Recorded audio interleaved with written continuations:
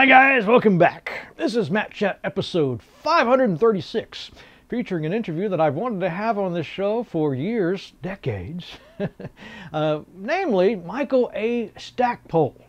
Uh, now, this is a name you're probably familiar with if you've played the Wasteland series uh, or you like to read, because he's uh, written some of the best uh, Star Wars novels out there. A lot of so great novels in the Battletech universe. He's done comics. Uh, he's uh, done a lot of work with role-playing game, whether we're talking tabletop stuff like Tunnels and Trolls and his own Mercenary Spies and Private Eyes series. Uh, but he's also done lots of work with uh, video and computer games, as you will soon see. He's also a pioneer in the field of electronic publishing, and he's he knows a lot about a lot of stuff. he's, a, he's a really good storyteller to boot. Kind of big shocker there, uh, considering his resume. Uh, anyway, I'm really excited about this, and I think you'll really love this uh, interview. So without further ado, here is Mr. Michael A. Stackpole. Oh, I like the mustache. Yeah, I'm sort of, you know, having fun playing around with it. So I used to have the use wax to kind of curl it around the right, right. barbershop style. That was a lot of fun. Yeah, yeah, yeah. I just, I, you know, pretty much anything a writer does can be considered research. So, so that's what I'm deciding this is. Well, there you go. Yeah, you've got. Well, first of all, thank you for doing this. It's a real honor to get Sure. to sit down with you, have a chat with you. I mean, my God, the stuff you've worked on. I feel like this should be a trilogy. I, I don't know, we might be able to get a six-part series out of this. I don't know.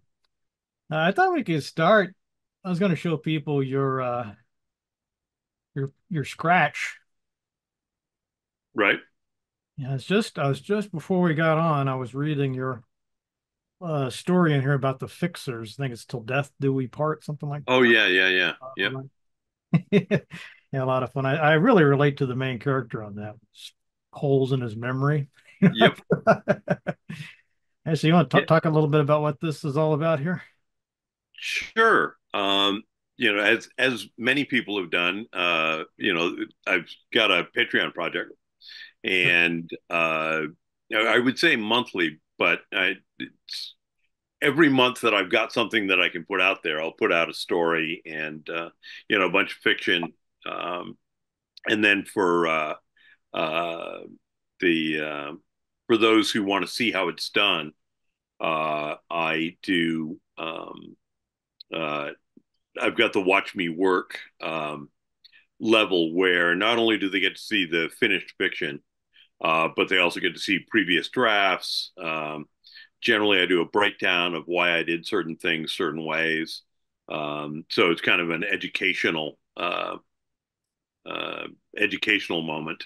Um, so in that case, with with that particular story, uh, with the fixers, you'd get a lot of the background. You'd get um, actually, I think in there I had you'd done some of that before, but there was a lot more material uh, talking about um, you know just the development of what I wanted to do with characters and things like that. So Yeah, it's really and, and as I recall with that one, there also was what the original outline was, and then you get to read the story and see where it is not at all like the original outline, um, which is kind of standard uh, for uh, you know what we do. So, Yeah, I was gonna say, I always tell I'm a writing uh, professor by trade, so I was, I'm probably going to share some of this with my my students in there because I have a game studies course, but mhm. then also just have some regular writing courses too. And you know, one of the things we emphasize is the, the drafting.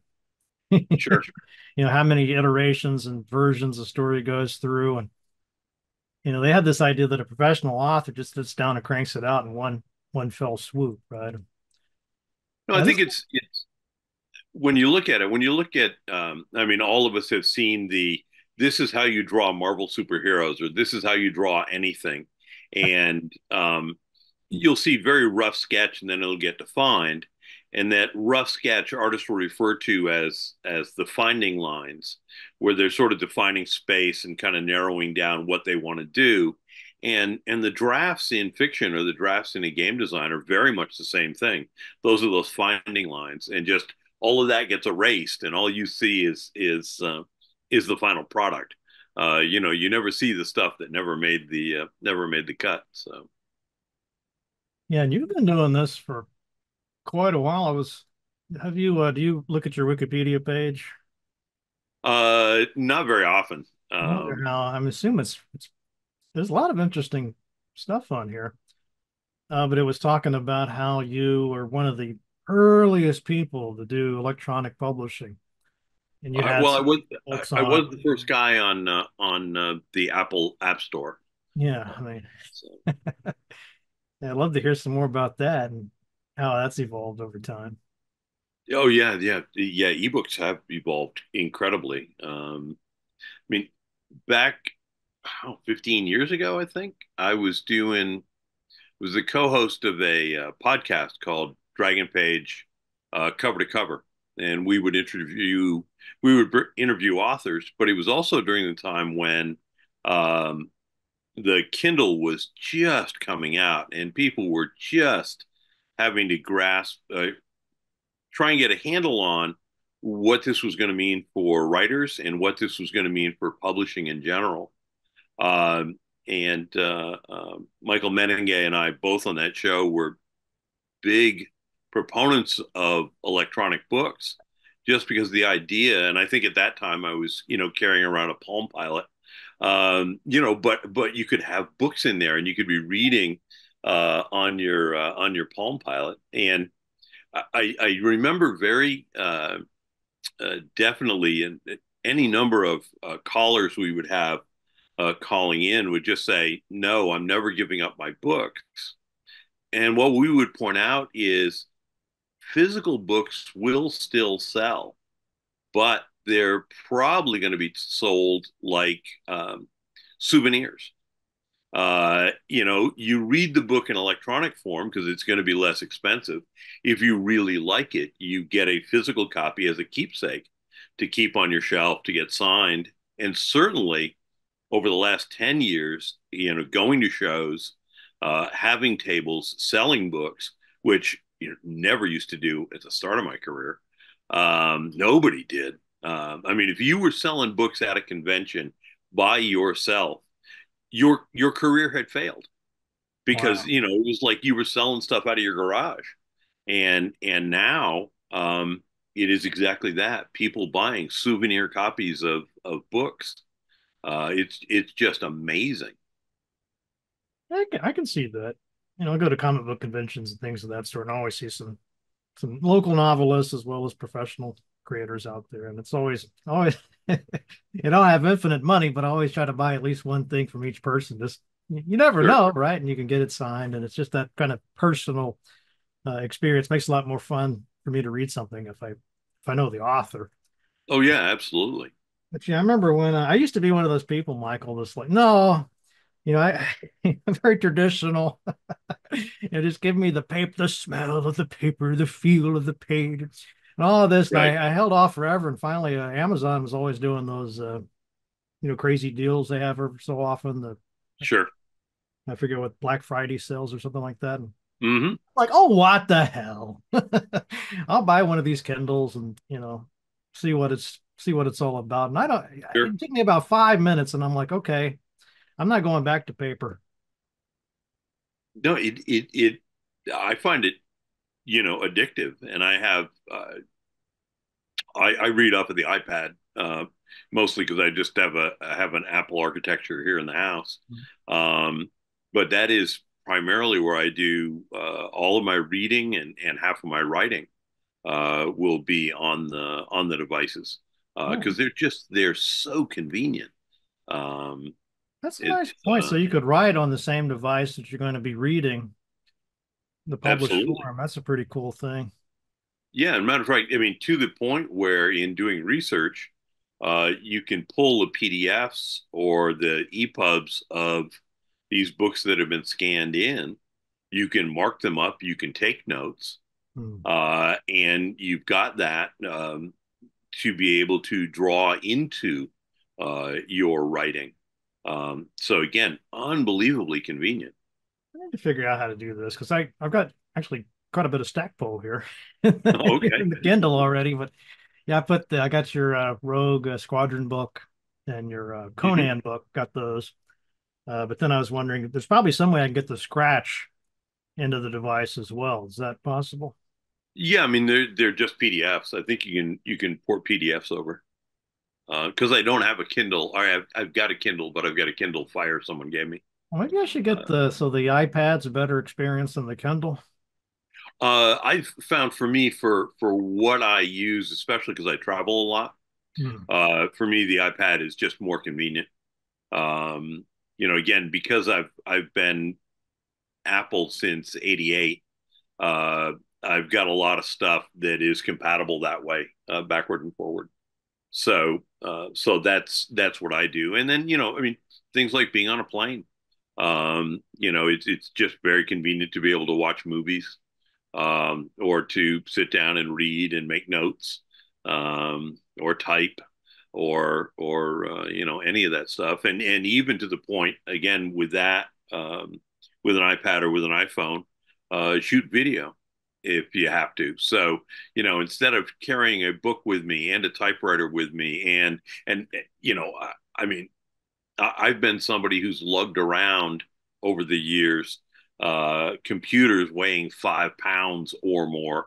Uh, you know, to go to shows uh, back before portable computers were really portable.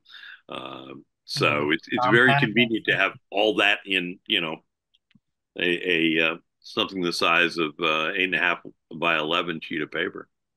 I remember those days. And there was was a Compaq kind of had. Oh yeah, I had a, a Compaq um, and Osborne, and I had Osborne. Osborne. Yeah, Osborne. Yep.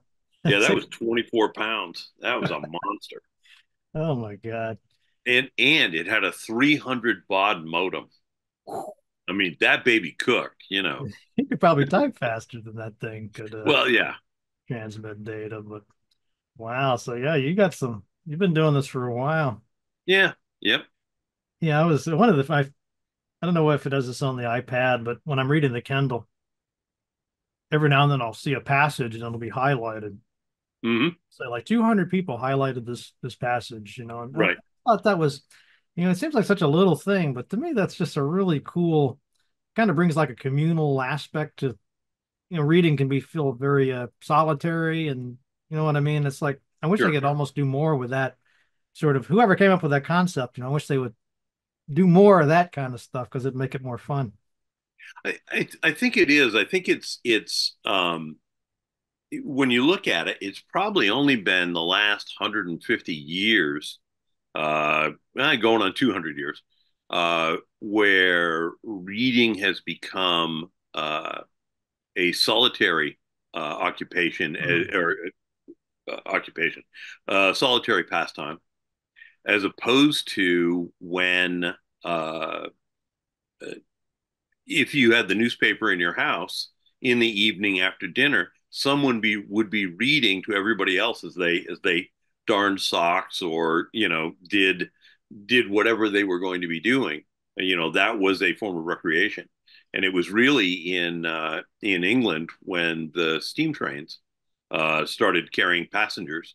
So that's the 1840s, I'm guessing, 1830s, 1840s.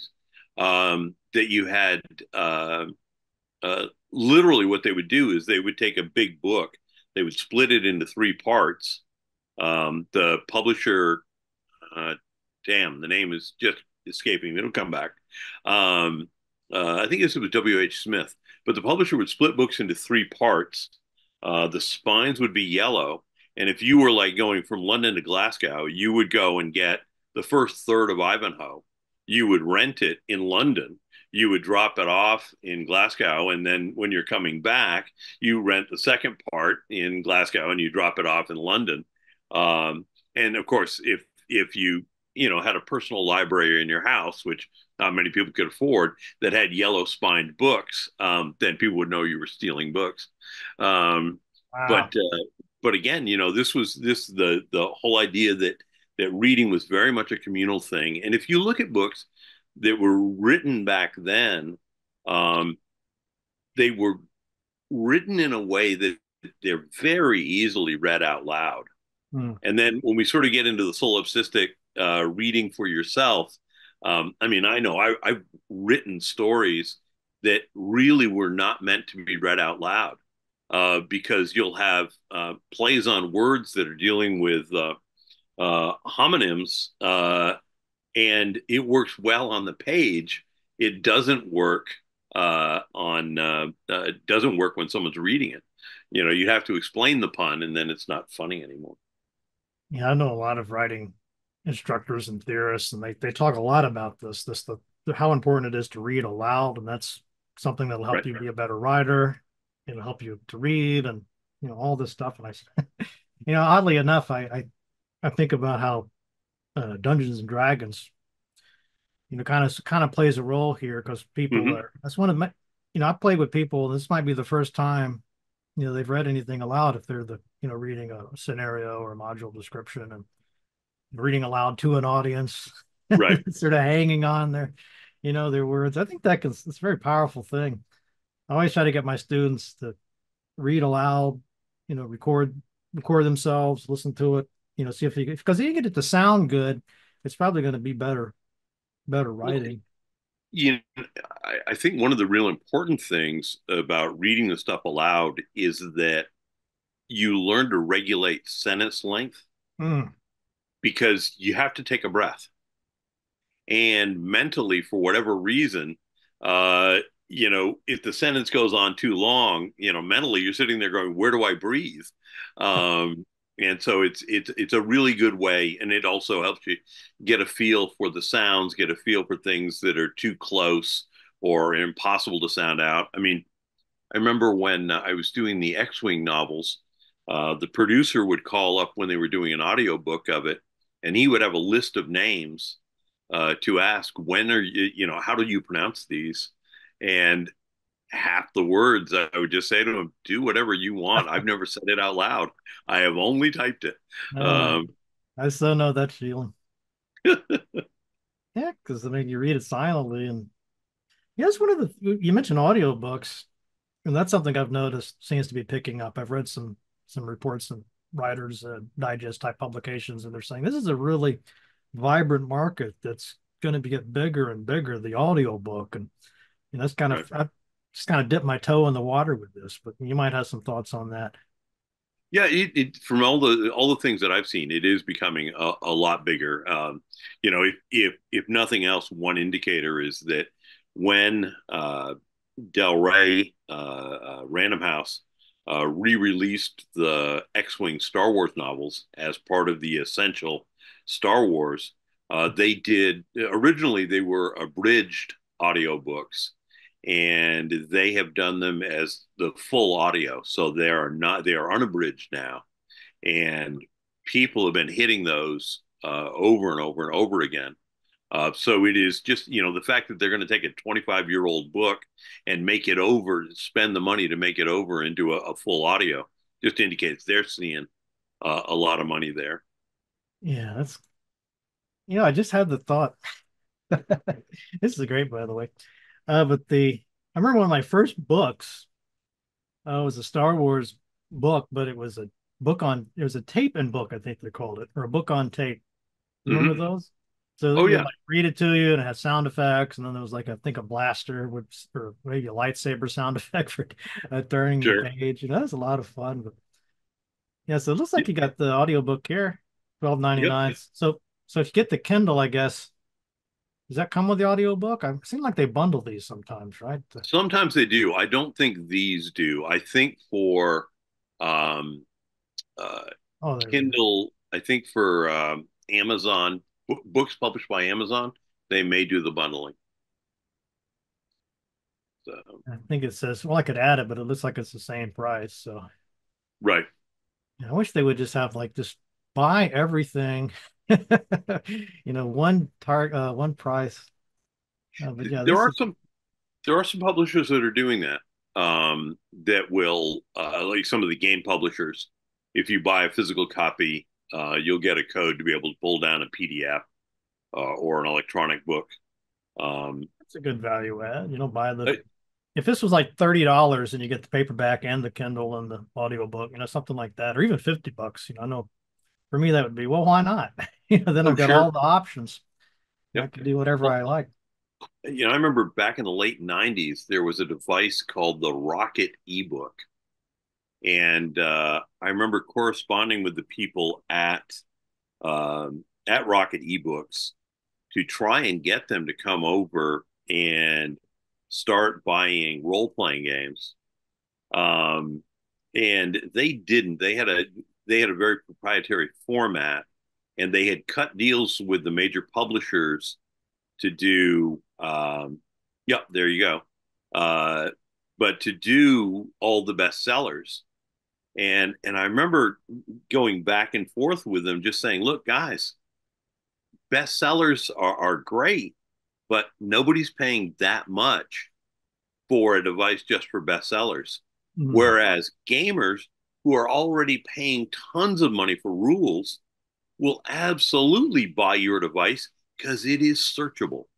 All of a sudden, you know, if I'm looking up a rule, I can find it just like that. And uh, and they said, no, no, we're not interested. It's like, oh, guys, you know, you're just you're you're missing, you're missing your shot. You know, I feel that way about Kindle books because there's all these. Every now and then, I get a really well done ebook, and it uses a lot of features. You know, like I can oh, click yeah, on yeah. a word and it'll find what. Oh, here's what you know. Here's what an X-wing is. You know, something like right. it's got its own sort of built-in database. Like that's really cool. Why don't they do more with this? you know, and somebody like you who's got the uh, uh the chops. I mean, you're doing those tunnels and trolls mm-hmm. sort of solo uh, adventures. I mean, wouldn't that be great for a sort of ebook experience? Oh, absolutely. I think part of the problem with um, commercial publishers is that while we see the the company as say Random House, they see the company as Random House Young Adult, Random House Fantasy, Random House Science Fiction, and so they break it out there, you know, Random House Gaming. And each one of those is its own little kingdom. And while it makes sense to to us as outsiders to go, why don't we take Random House ebook? We'll take this piece of it, which really belongs to Random House Gaming, uh, and we'll combine it with this piece we're publishing over here at Random House uh, Fantasy, and we can give you a whole package that will go with your game. You know, it, it's it's the problem with corporations they don't see it that way. You know, it's just not all words. It's words that belong in this box or that box or that box or that box. Um, and again, you know, the cool thing in the gaming industry is that uh, companies are small enough that they can pile all the things into the same box. Um, but with a corporation, that's not, you know, that's not very easy for them to do. They don't have that flexibility. Yeah, I was just thinking, I did a gameplay documentary feature film project one time, and the, mm-hmm. the publisher of that was new. I guess had hadn't done anything with games before. They kept asking me, "Well, why don't we? Why don't you see if you could find a game that's about to come out, and we'll see if we can make a bundle deal, you know, with this documentary." And I sure. just there was nobody was interested. It's like not even a couldn't even yep. get anybody on the phone. You know, they just had no conception of like, well, this is what does a mo- movie have to do with the game? You know, and Right. It's almost weird.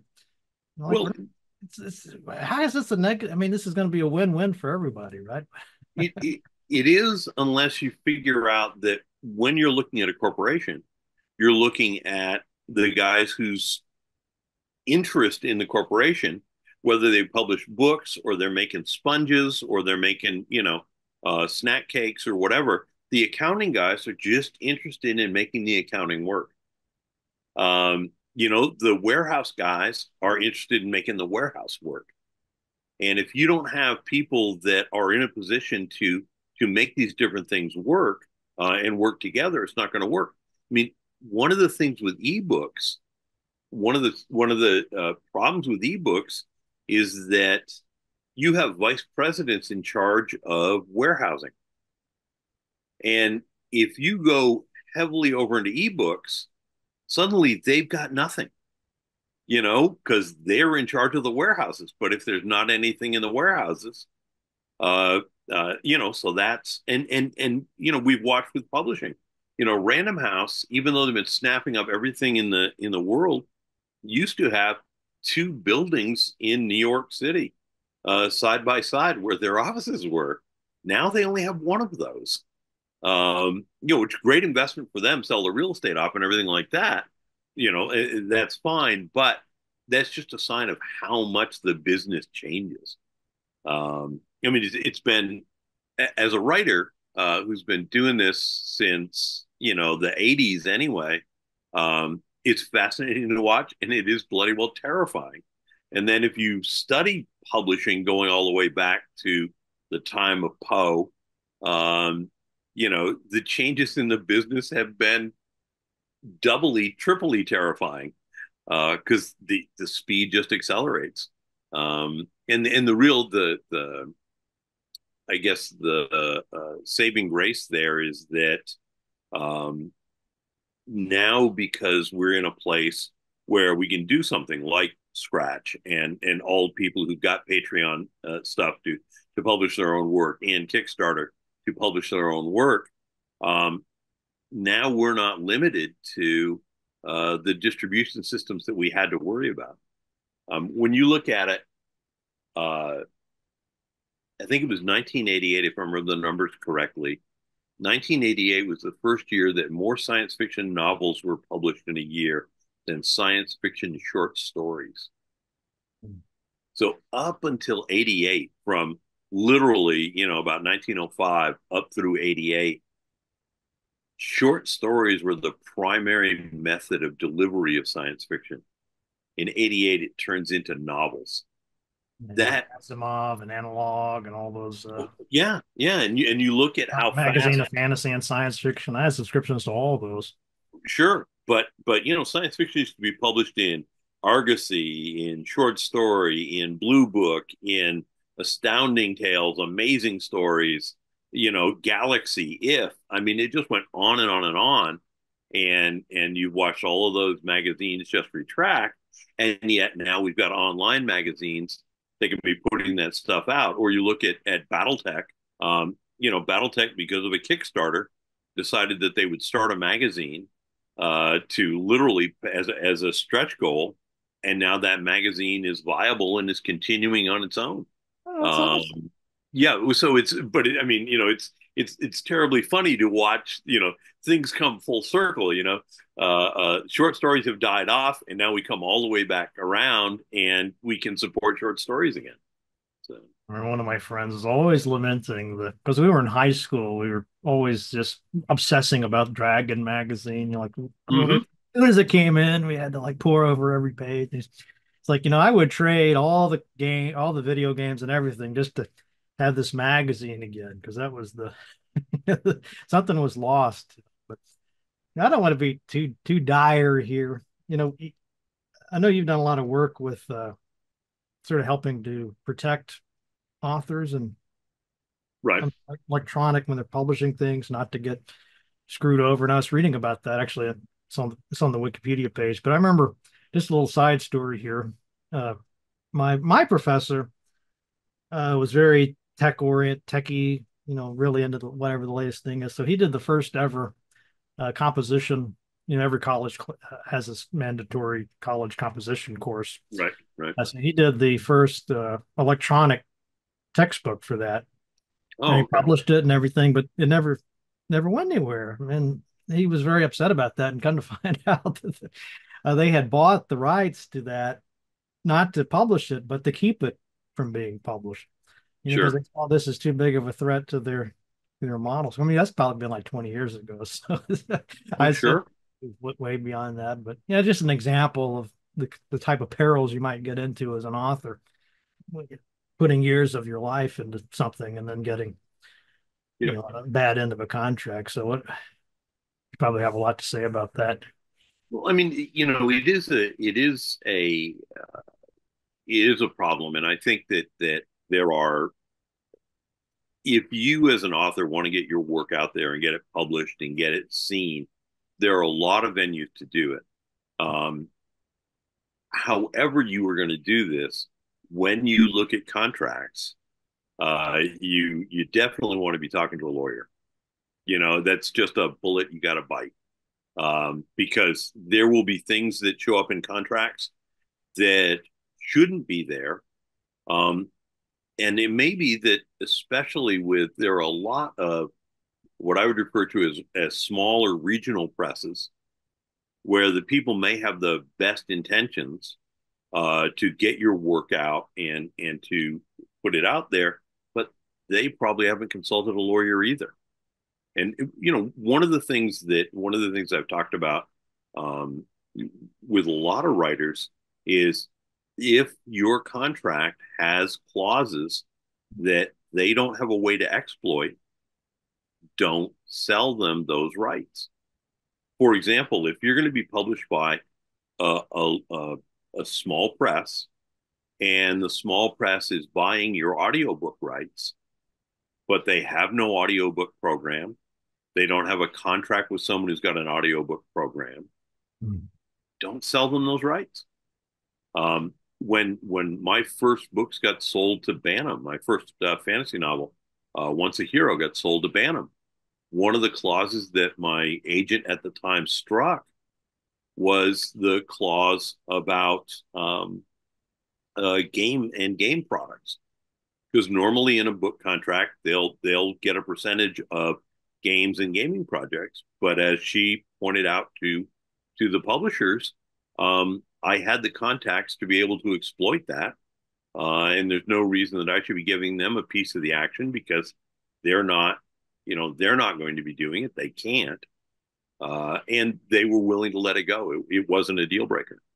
Um, you know, it was also funny that that ebooks up until 1998, ebooks were not a deal breaker in uh, in contract. You could keep for science fiction and fantasy, you could hang on to your ebook rights.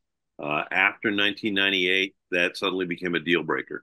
So they knew just starting then, you know, where this where the exploits were were going to be going to be coming, um, and that's why a lot of science fiction writers, when the Kindle came out and when it became easier to self publish, uh, were taking all of their uh, uh, their uh, back catalog because they owned all those ebook rights mm. and were uh, were putting them out. And I'm right with with Once a Hero, which you just showed. Uh, I I own the ebook rights, and so you know any errors in the book are mine. Uh, you know, all my fault. But uh, uh, but you know, getting those and being able to put them out, very very useful. I know a lot of my my friends that are not just the ones doing ebooks, just seem like every author, not even authors. It seems like every creative person I talk to these days, maybe even some non-creative, you know, writers. Which I write nonfiction, but right.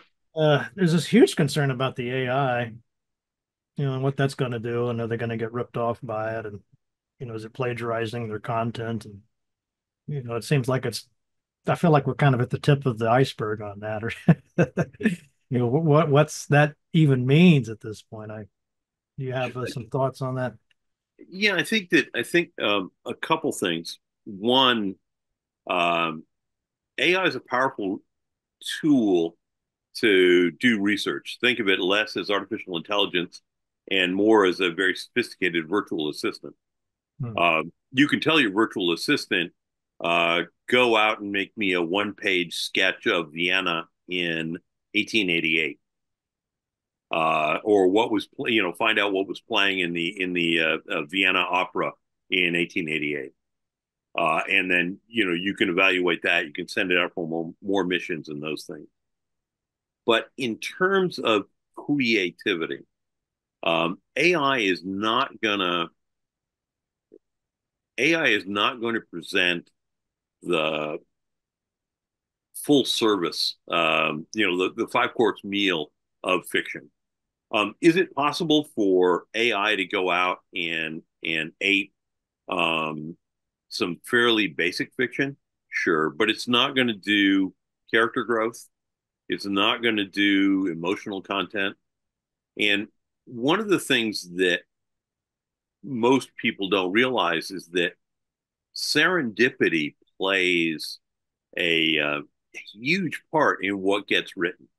Um, for example, if if uh, uh, you know I'm going out to the grocery store in the morning before I come home to write a chapter, and there is some jerk uh, in the store and they annoy me, uh, that will affect what I'm doing when I write that day. Hmm. Um, you know, AI, literally by the nature of the way they're doing the large language models now, does not remember what it has written down. So it it basically can't do a second draft.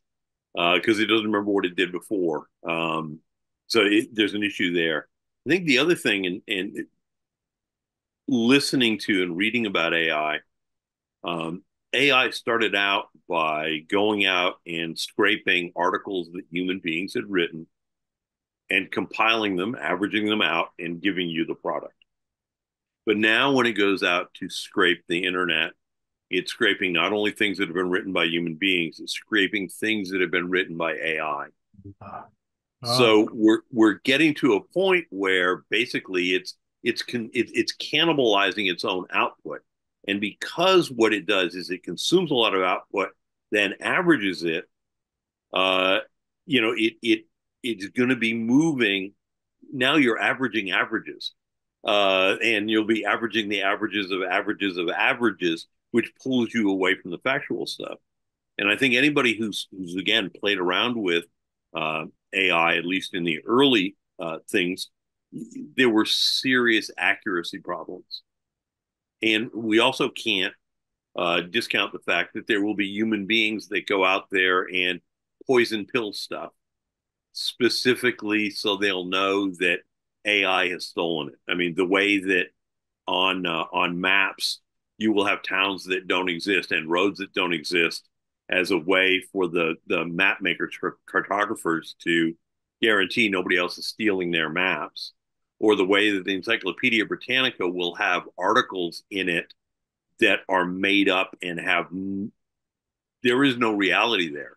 But they'll make up an article about something simply to gu- guard against someone else just you know photocopying their uh, their encyclopedia so you're going to have poison pill stuff sitting out there on the internet that people will find.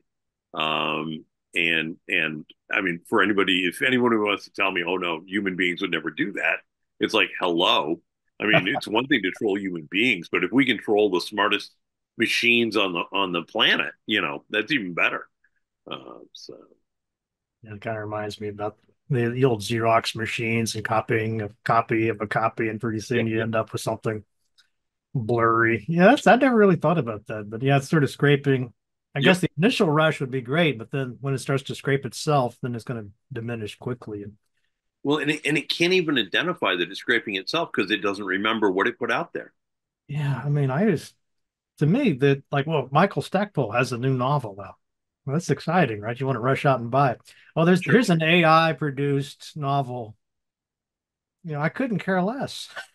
well, you know, again, you have to look at it. I mean, there's plenty of AI copy out there, and and you can you can read it or go out to YouTube, and there are plenty of YouTubes where they have an AI voice working off an AI script uh, with AI generated art. Um, and it, it to me anyway, it's apparent because it's lifeless, it's repetitive, uh, it's non-emotional, non-logical, um, uh, and and so it, it it doesn't feel human.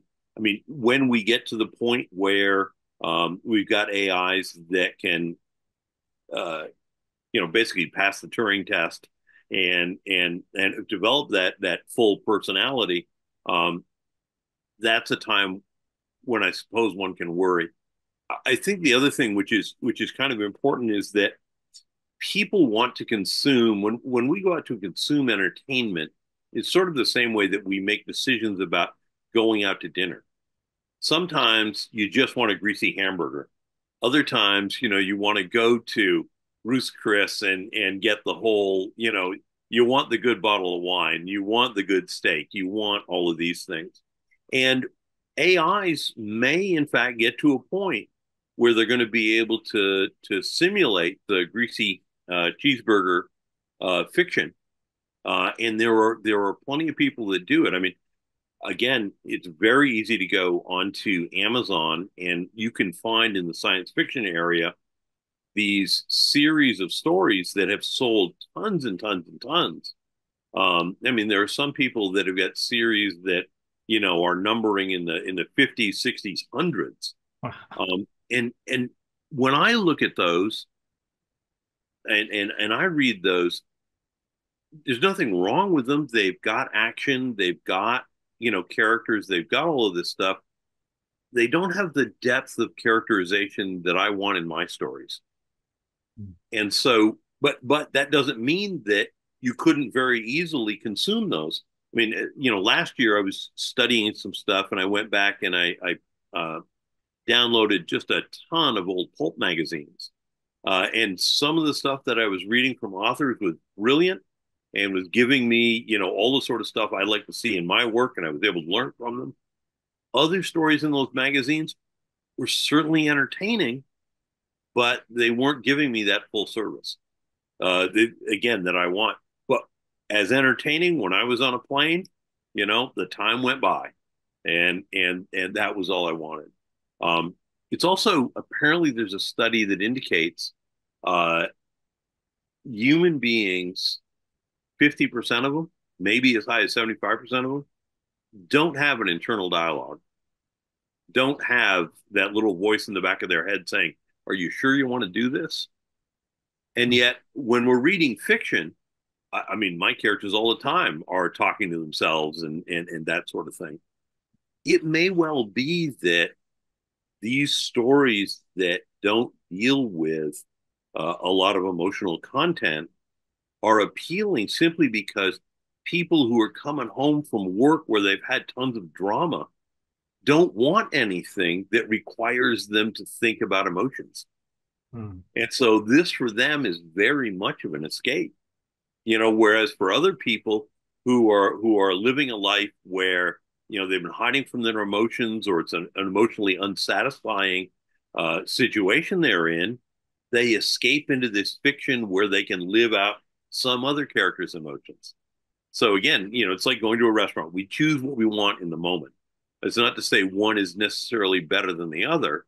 Um, I just know that for me, writing the writing the stuff without emotionally engaging characters, I just find boring. Um, so that's that's why I'm not grinding that out. If I could, oh my God, I'd be having lots of I'd be having money, and right now, you know, we'd be doing this, and the background would be the Seychelles Islands, and uh, you know, um, I would be uh, uh, you know a lot more tan. Well, no, I probably would because I still hide from the sun, but um, that's a cool background. I know exactly what you mean. You know, I don't always want to sit down and read something like Game of Thrones. Yeah, yeah. You know, have to keep. Tra- I mean, I love it. It was great, but it's that's a lot of you know work almost trying to keep track of who's doing what, and you know, it's dark. that's why I like to switch, swap it up, and like I'm just going to read some Conan comics today. there you go. Yep. Yeah. Well, let's uh, see if we can uh, sort of step in the what do they say? Step in the wayback machine. okay. so I want to get into your early days because you were doing some really uh, fascinating stuff with uh, tunnels and trolls, and then uh, mercenaries and mercenary mm-hmm. spies and private eyes, and this sort of leads to wasteland, and there's a lot of fun right. stuff to talk about there. You know, my my audience is really computer role playing games and early computer games. You know, they're what they love sure.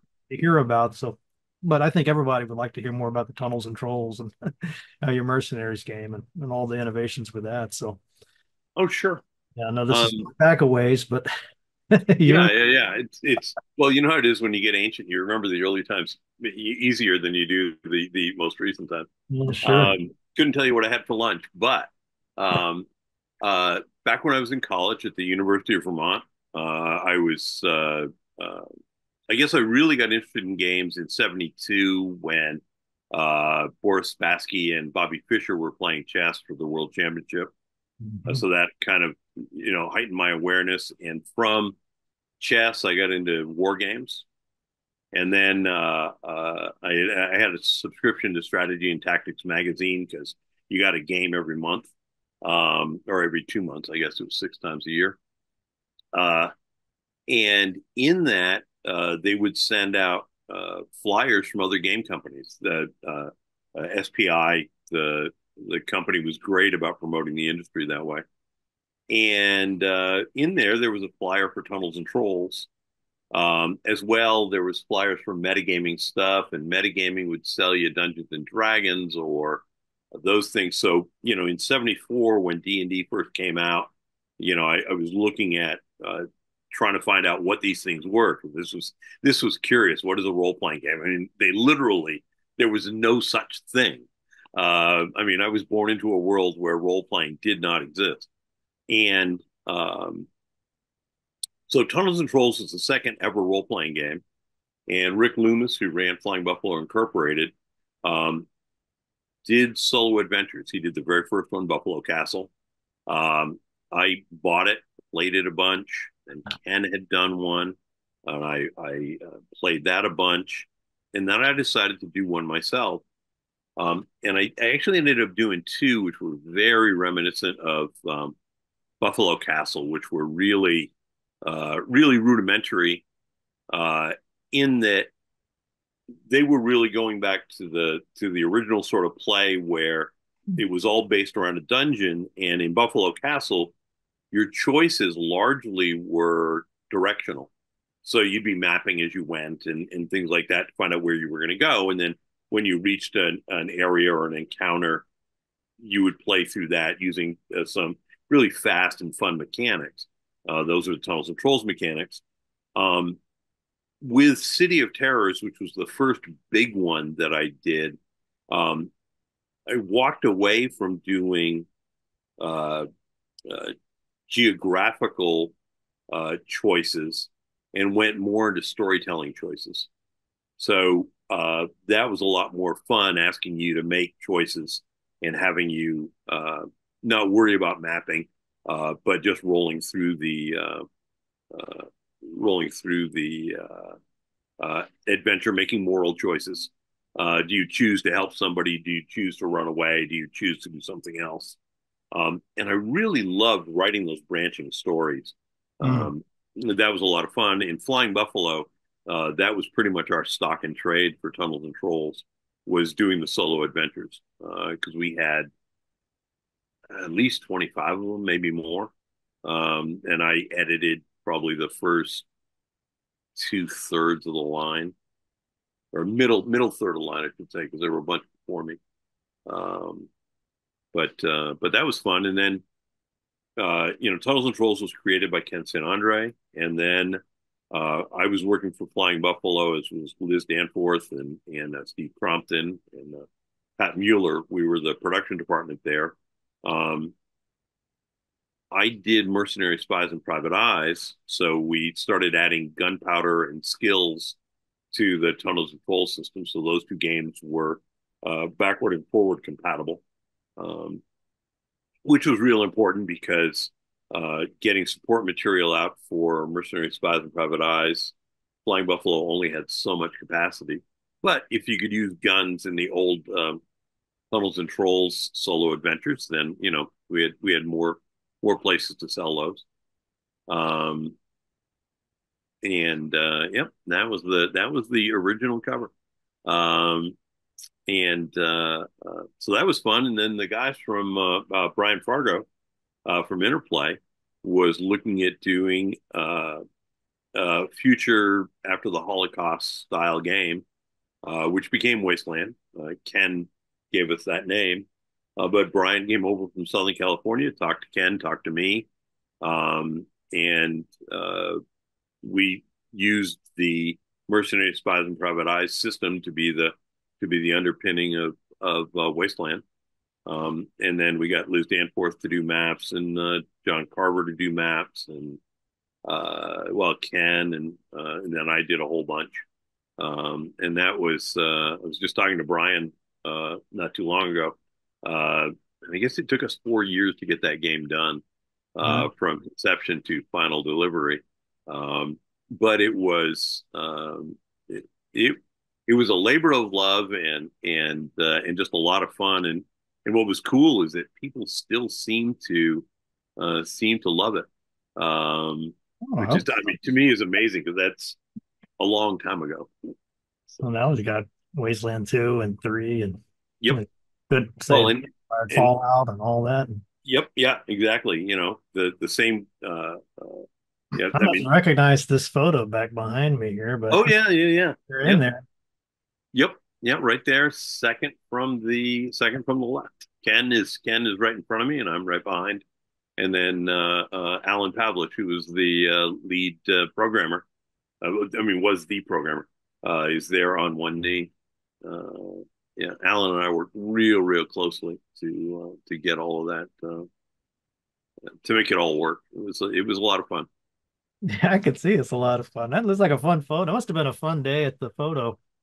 I, we, so we were on the middle of nowhere in, in a in a desert in uh, in California. Uh, photographer taking those shots, and as we came back into town, like I say, we all looked like I mean, it's looking like a badass, relatively speaking, uh, biker gang. And remember, we we stopped at a Denny's. Out of Mad Max. Starving. What's that? It's like a straight out of Mad Max, you know. Well, yeah, I mean, it was. We were yeah, yeah, yeah. It was very much, without a doubt, that that influence there. But we um, we stopped at a Denny's, and all of us went into the bathroom to wash all the dirt and everything off. Mm. And and while we're in there, we're talking about the game and talking about uh, computers and RAM and how many disks it's going to be on. So it was just pure computer nerd chatter, right? And uh, and as we're talking, suddenly in the only stall in the bathroom, there's a flushing sound, and a little old man came walking out, and he had been listening to us clearly because the look on his face, he was initially he had a totally benign look on his face, and then when he saw us, he just grew pale and got the hell out of there as fast as he could. He was not sure what we were, and actually, we ended up having to go to a second restaurant because they wouldn't serve us there. What? Um, so, so imagine we were we were we were too nasty looking to be served in a Denny's. Oh, um, so, God, that's that's a whole different level there. that you know, yeah, yeah. Well, we you know we owned it, so. so it sounded like you had been in the computers before then, right? And you it's kind of fit right into the computer development part of it. yeah, well, you know, I had done curve, or I mean, what well, I had done a, uh, I'd spent four months at Coleco in their advanced research and development department, uh, looking at doing computer games and and uh, things on that order. And so that was really my first uh, brush with uh, programmers and and and how to speak to programmers. Uh, you know, because you can tell a programmer, hey, uh, you know, for this game, I need something where I can have a you know one in ten chance and the programmer would look at you and say, "Can't do one in 10. And you know, as a, as a as a normal individual, you'd be sitting there going, "The hell are you talking about?" And I said, and, and so you light bulb went on the back of my head, and I said, "What can you do?" He says, "I can do one and two, one in four, one in eight, you know, one in sixteen. You know, take your pick." Uh, and it was like, "Oh, okay, I get it. Yeah, one in eight is fine. You know, uh, I'll just adjust my thinking and so you know you learn then to to talk with programmers and and you know whenever they tell you no it's like okay what can we do? And and uh, i mean alan was great. Alan alan and i had these wonderful call, uh, conversations about how to put uh, everything together. Um, it was it was you know unbelievably uh, unbelievably cool. And um, remember ken would call me up and say Alan won't let me do something. And I would call Al. Ken would explain it to me. I'd call Alan. We'd figure out what we would do. We also figured out about three more things we could do uh, while we were uh, while we were discussing this stuff. And then uh, I would call the rest of the team and say, "Okay, guys, you know this is this is what we can do now. Here are the uh, here are the different things that'll uh, that'll go together." Um, and that was just a lot of fun, and that's why um, Wasteland, for example, as I recall, uh, when we started out, there were three ways to open a door. And by the end of the development process, there were 14 ways to open a door. Uh, so pretty much anything you could think to do, you know, any weapon you could use on it, any tool you could use on it, anything like that, that would get you through a door. Um, and so it was, it was, uh, uh and we could also trigger cause and effect which at that time there was no cause and effect. There was only cause. So.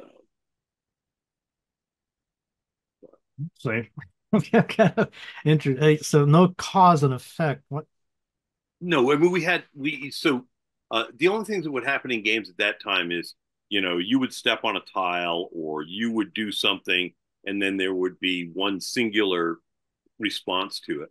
Oh, I see. Whereas uh, with the coding we were doing, um, not only would would whatever you're doing affect that individual tile, but you could get it to you could call other tiles that it would affect. So you might kill the guy on you know on A1, but that means that three more people would show up you know on on uh, A26, B26, C26 who are obviously coming in response and you would be able to have the statement in the distance you hear footsteps so as they're advancing on the map they would finally get to the point where you know they can see these guys and engage them. Uh, but literally uh, until that time that just didn't happen in games. Um, which was made, made it a lot of fun for us. And and i think you know we would have figured out it, you couldn't do that but none of us knew what we were doing really. Uh, so it was like, sure, we can make that work. You know, you just have to, you know, you have to make sure you're calling your shots, and we'll have to test it to make sure it works. This sounds like I would love it to have been a fly on the the wall, or maybe that guy in the bathroom. I don't, I want to be privy to all of this as it unfolded. I mean, must have been. I mean, I can. By the time you got to the finished product, it must have been really exciting to see how what are people going to make of this.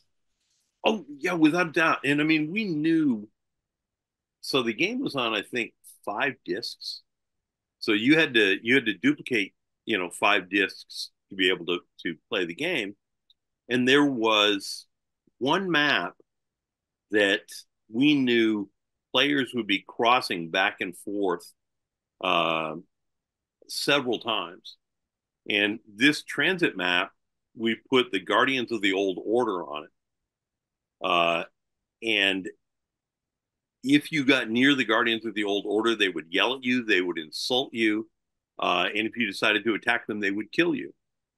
And we knew, uh, I knew, uh, I designed that stuff, but I knew the way gamers think, the way people think, every single time they went on that map, they would test to see if they had gotten strong enough to take out the Guardians of the Old Order. Mm just because that's you know they're being insulted and and ridiculed and everything you know it's going to get into your mind. So by the time toward the end of the game where they get strong enough where they've got the they've got the most powerful weapons and stuff like that not only are they sure they're going to be able to take these guys they are going to go through gleefully and take these guys. They're going to be thinking i am totally badass uh, and and you know, and you still see that.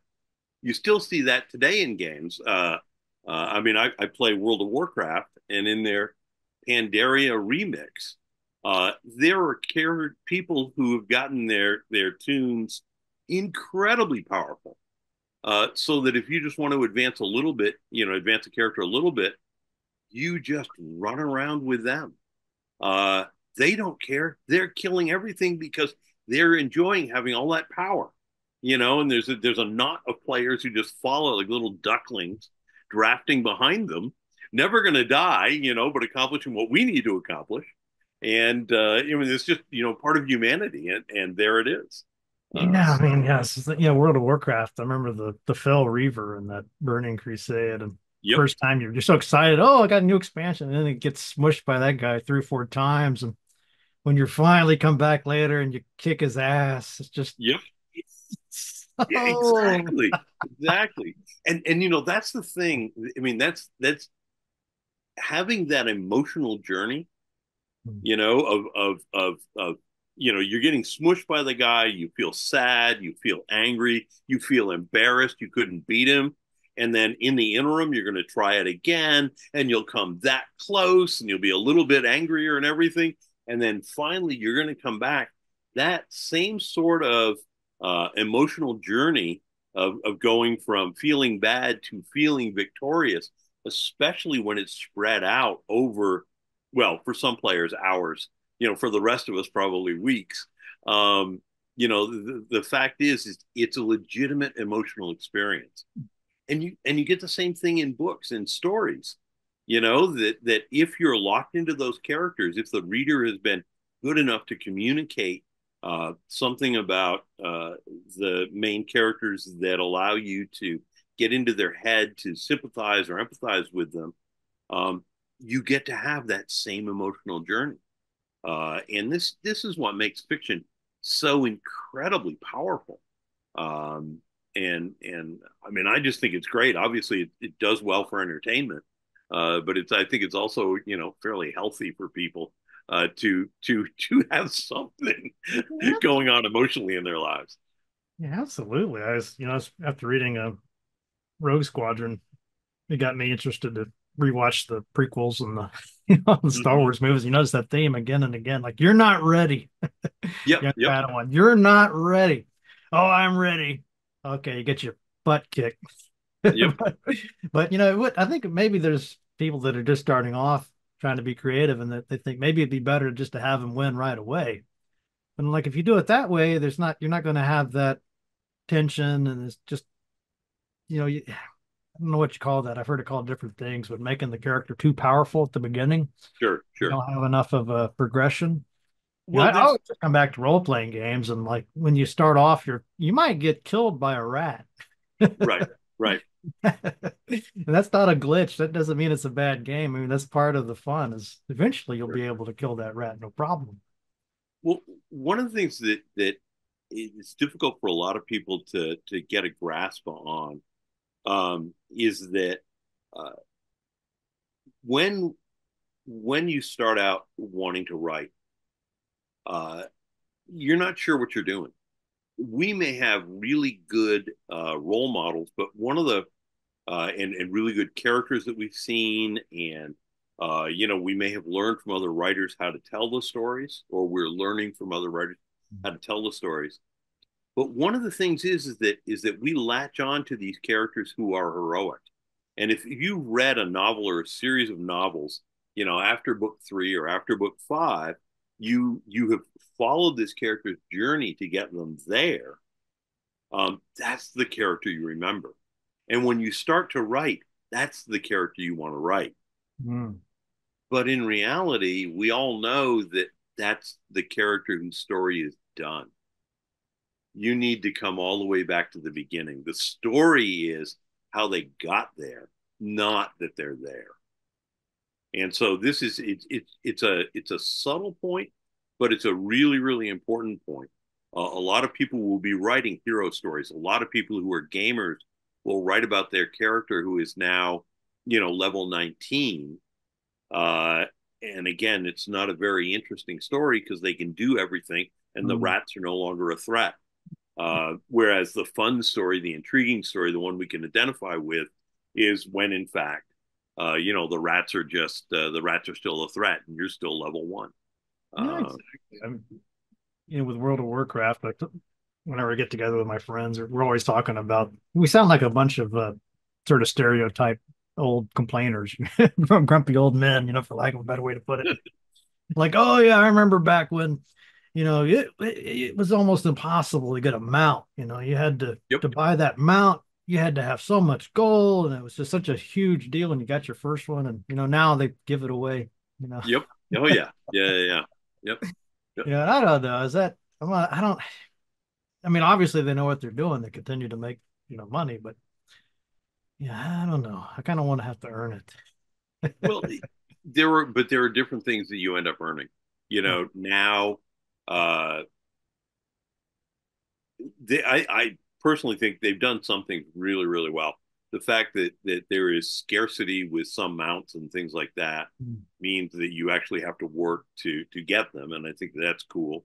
Um, the way they've reworked weapons and armor, again, you've got to work to to increase that. Um, the big thing I think about for those games and for science fiction and fantasy is discovery.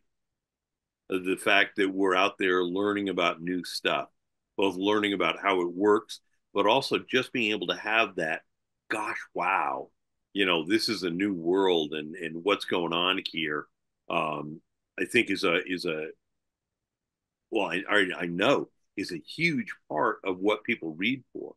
I think it was, um, uh, it's not John Steinbeck. It's one of the modern literary writer, um, who has made the comment that the reason that science fiction and fantasy will never be capital L literature is that in writing them, you have to do a lot of world creation, which is not anything that happens in capital L literature. And uh, it's estimated that I think it's John Updike actually is, is the person I'm quoting, but it's estimated that 25% of the words in a science fiction or fantasy novel is world building. Hmm. And and this is just something that that that literators, literary critics are just not prepared to to use. It makes uh, science fiction and fantasy very idiosyncratic to themselves, and therefore tends to diminish the validity of the um, aspect of human nature that's being dealt with in these stories. Hmm. Uh, so I think that that for the people who would look at it and say, "Does this reveal anything about the human condition?" Um, they say it fails on on two parts. One, how you're dealing with the human condition is obscured by the building of the world. Uh, and um, I mean, my response to that particular criticism would be, but we're building a world that human beings have created. So the, the very act of world creation is showing us something about something about human nature.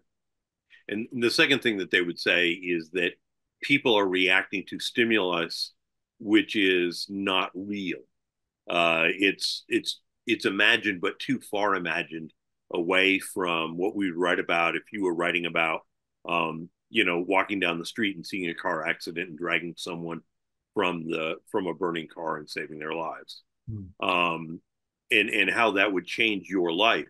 Now, I don't see that any different from you know uh, uh, somebody going along in his spaceship getting a mayday call seeing a ship that's been hit by a micrometeorite and having to go in and save people and seeing their gratitude and seeing their pain at other people having died both can be reflective of the of the human condition but for the people who are who are calling balls and strikes for what is going to be literature uh, for them it's it's you know it's all balls it's not strikes Oh, uh, those people don't know anything. I mean, I'm thinking about all the great world creators. I mean, Tolkien and oh yeah, Lucas, yeah. and I mean, trying to think. Of, well, even Gibson. sure, sure. I mean, there's nothing. Uh, who who would read those and say this had this had nothing to say to me? I mean, come give me a break, you know. well, I think it's it's um the other thing I know one of the other criticisms which is leveled at fantasy and science fiction is that um, because fantasy and science fiction are uh, literatures of allegory, hmm. uh, it's difficult. They become difficult to read because you don't know what is true and what isn't. You know, if we were to say, if you were to have the sentence in uh, a uh, fantasy story, uh, you know, the dragon ate the moon. Uh, is it literally a dragon eating the moon, hmm. or is it a, is it an allusion to an eclipse? Uh, and hmm. because it could be either way, for again the the umpires of literature, um, that that's a ball. Uh, it can it, it can only be an allegory, but we can have it also be literal. Uh, and and they're just not prepared to deal with that. And and I I certainly understand what they're I understand what they're saying. Um, I I think that I think that they're limiting themselves. I think that that they they can't have gotten to where they are and be so stupid they can't differentiate between those things. I think they're just seeing a more pure art form and they don't want to have to differentiate. It just seems a bit snooty or snobby or you know, I've heard I don't want to throw any of my colleagues under the bus. you know, I've heard them say things like, well, you will not write any stories in my class that involve an elf, a vampire, or staged right. spaceship, you know, because that's genre fiction. I mean, the way they say it is just like that is beneath my contempt. Sure, sure, sure. I'm thinking, well, I freaking love this stuff. You know, I don't, I don't quite get what happened well, uh, but uh, you know, we why anybody that. would think that way. Well, I mean, we get that within our own within our own community. However, I mean, I read a lot of tie-in fiction, uh, and and you know, the tie-in fiction is seen as being a step below, um, and and I've had ample experience, uh, and and I can tell you, I work just as hard doing tie-in fiction as I do do in my own stuff. Um, you know, one of the things I say, I've said in classes um, you know, the difference is when you're doing tie-in fiction, um, you're going through and you're going to have to deal with something stupid someone else did. So you're going to figure out your way around it. Whereas when I'm doing my own stuff, I have to go in and I have to do something about something stupid someone else did, but I'm someone else. You know, I'm the one that created that problem. So it's it, it's all the same work. You know, it's just it it it is just applied at different times. Um, but uh, you know, how many times have have uh, you know do we hear people talk about uh, you know the Twilight books are not real science fiction, they're not real fantasy, they're they're something else. Um, uh, it's it's uh, or you know uh, an urban fantasy. Well, real good example. Um, when Steve Donaldson's fifth book in the uh, Thomas Covenant uh, books came out, there was an argument uh, between him and his editor because uh, half of that book is shot from another character's point of view, not Thomas Covenant's point of view. And uh, they wanted him to uh, rewrite it so the first half of that book is back through Thomas Covenant's point of view, and he didn't want to. And the editor's argument was you can't do what you've done because that's not done in science fiction. The the the stuff got appealed up to the publisher, and the publisher said, That's fine, this book isn't science fiction. It's a bestseller. Uh, and in bestsellers, we can do that. Uh, so uh, and and that is and I mean that's something I keep in the back of my mind. Uh, uh, you know, when I'm writing, it's like, yeah, you may not be able to do this in science fiction. However, uh, yes, we can. Uh, and and and that's that's one of the other things, which is no matter what anybody tells you you can or cannot do in a genre, uh, especially if you do it well, you can do anything. If you do it poorly, doesn't matter if everybody else does it, they'll tell you, no, you can't do it. Do it well, and they will be happy. Uh, so, yeah, I'm thinking about uh, Harlan Ellison and his dangerous visions. And it's really, you know, I've read some great science fiction. We, we should probably talk about William Gibson at some point.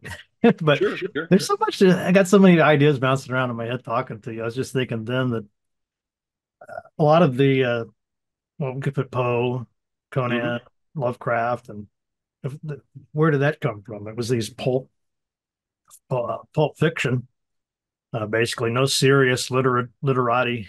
you know, they would have scoffed at that stuff, you know, and now this a lot of that stuff is considered classic. Yeah, I think I think that stuff gets it gets dismissed too easily. Detective stories, film noir, you know, and all yep, the yep. Sam Spade and all that. Oh yeah, yeah, yeah. You know, and it's and it's really funny because you will get, uh, uh, you know, Dashiell Hammett wouldn't have been seen as being literary. In his lifetime, but you know, now after he's dead, uh, suddenly there's a reconsideration of, of seeing that stuff, and it, it's funny.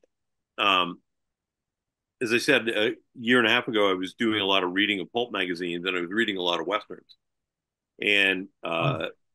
I was reading uh, and, and also reading Robert Howard. And, and Howard, toward the end of his life, was writing uh, some western stories about a character named Breckinridge Elkins, uh, who was a character from from Texas, very much sort of the same sort of uh, area where uh, Howard was from. And I had seen somewhere that uh, a few people had thought that had Howard lived he would have become very much of a uh, Western regional writer and be be well known for it. Hmm. The other stories that I was reading, uh, these westerns, there's especially two sets. Uh, Clarence Mulford is the guy who created Hopalong Cassidy. Okay. Uh, and and most of us only know Hopalong Cassidy from uh, from the TV show, which was an abomination. Everything that Hopalong Cassidy is nothing like uh, Hopalong Cassidy in the books. Uh, and Mulford's um, Mulford's style and what Mulford wrote uh, very heavily influenced uh, the way that Louis L'Amour writes. And Louis L'Amour, I mean, just and, and Mulford was incredibly popular. Another writer who was writing at the same time was W.C. Tuttle, and he created a character um, named Hash, Hash Knife Hartley, who was a detective running around with a partner, running around doing uh, solving mysteries and stuff like that. And uh, Tuttle's stuff was addressing issues that were way ahead of their time. I mean, mm-hmm. you could read if, if you handed a number of people some of the Tuttle books right now, uh, they would decry them as being woke, uh, just yeah. because of some of the issues that he was dealing with and stuff that was being said. And yet, this guy's writing in the 20s and 30s. Um, W.C. Uh, Tuttle? What's that? W.C. Tuttle? Yeah, W.C. Tuttle. Huh. Um, but I am I am a hundred percent convinced. Interesting thing is, so Mulford and Tuttle knew each other. Uh, they both were hanging out in New York. Um, uh, they knew each other, and they would uh, go uh, uh, visit. Um, uh, the and, and, a lot of these things you can get before you actually go ahead and buy them from Amazon. Go out to archive.org and you can get them for free. Download them because many many of them have been have been scanned in in their in their like I say wonderful books. And archive.org has got uh, a lot of PDFs of old pulp magazines, uh, and that's where I was uh, dragging them uh, dragging them out of. But I'm convinced had Robert Howard uh, gotten to New York just once, and had he run into Tuttle and Mulford, he would have run into Tuttle first. I'm convinced he and Tuttle would have gotten along, mm. and uh, I'm convinced that uh, uh, just by making the contact with them, uh, Howard would have been able to move up because because writing for Weird Tales was kind of at a at a very low level in the pulps, uh, whereas these guys were writing for Short Story Magazine and Blue Book. There were a couple levels in between, and Howard I've seen read letters by Howard where he was lamenting the fact he could not crack that upper level but his writing, Howard's, especially the Breckinridge Elkin stories, were good enough that I think he would have. I think he would have made it in short story if he were writing westerns and and had been submitting them there. If he had had friends like Tuttle and Mulford just saying, "Yeah, you know, you got to take a look at this guy," uh, I, I think he would have had the career that I'm.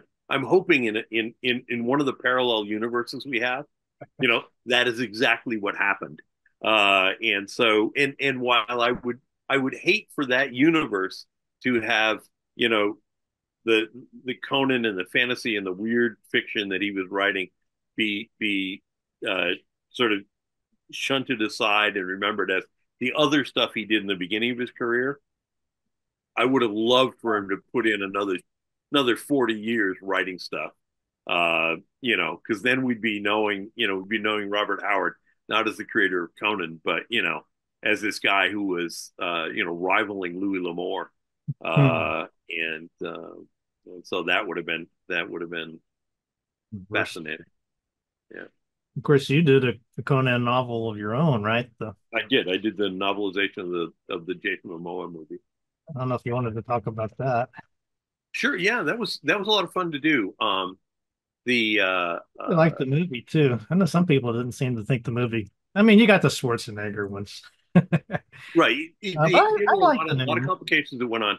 The nice thing for me for being able to do the um, the novelization of the movie.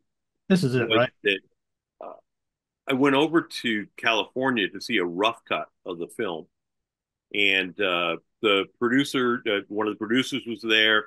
I was with another writer. Um, we got to see the film, and the producer talked to us about it, and they actually included there's a voiceover at the end of the movie, um, which was something that that uh, the other writer and I suggested they put in uh, just to tie it up.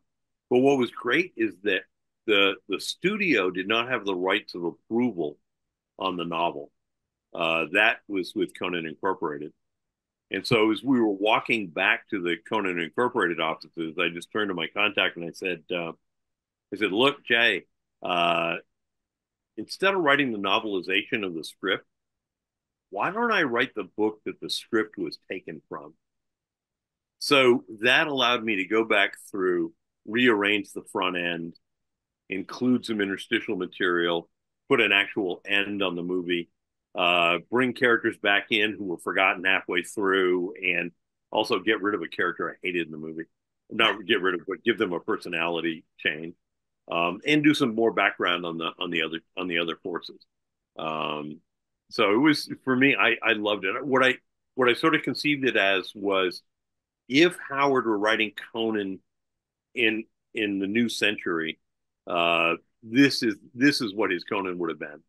Uh, as close as I could get it, anyway. So. I got it. I, I just purchased it, so I'm really looking forward to reading that because I've you know I've read just about everything Conan that I can get my hands on, and uh, Robert Jordan, you know, his Conan mm-hmm. stories, and uh, who's some of the other ones. There's a lot of other ones.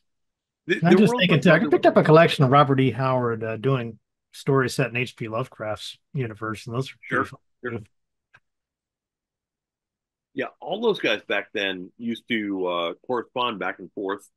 Um, Fletcher Pratt and H.P. Lovecraft and um, uh, Howard, of course, uh, Clark Ashton Smith, um, August Derleth, I guess, a little bit. Um, one other guy whose name is dropping out of my brain, but uh, there was a lot of correspondence going back and forth there, and and they all how Sprague you know. That, what's that?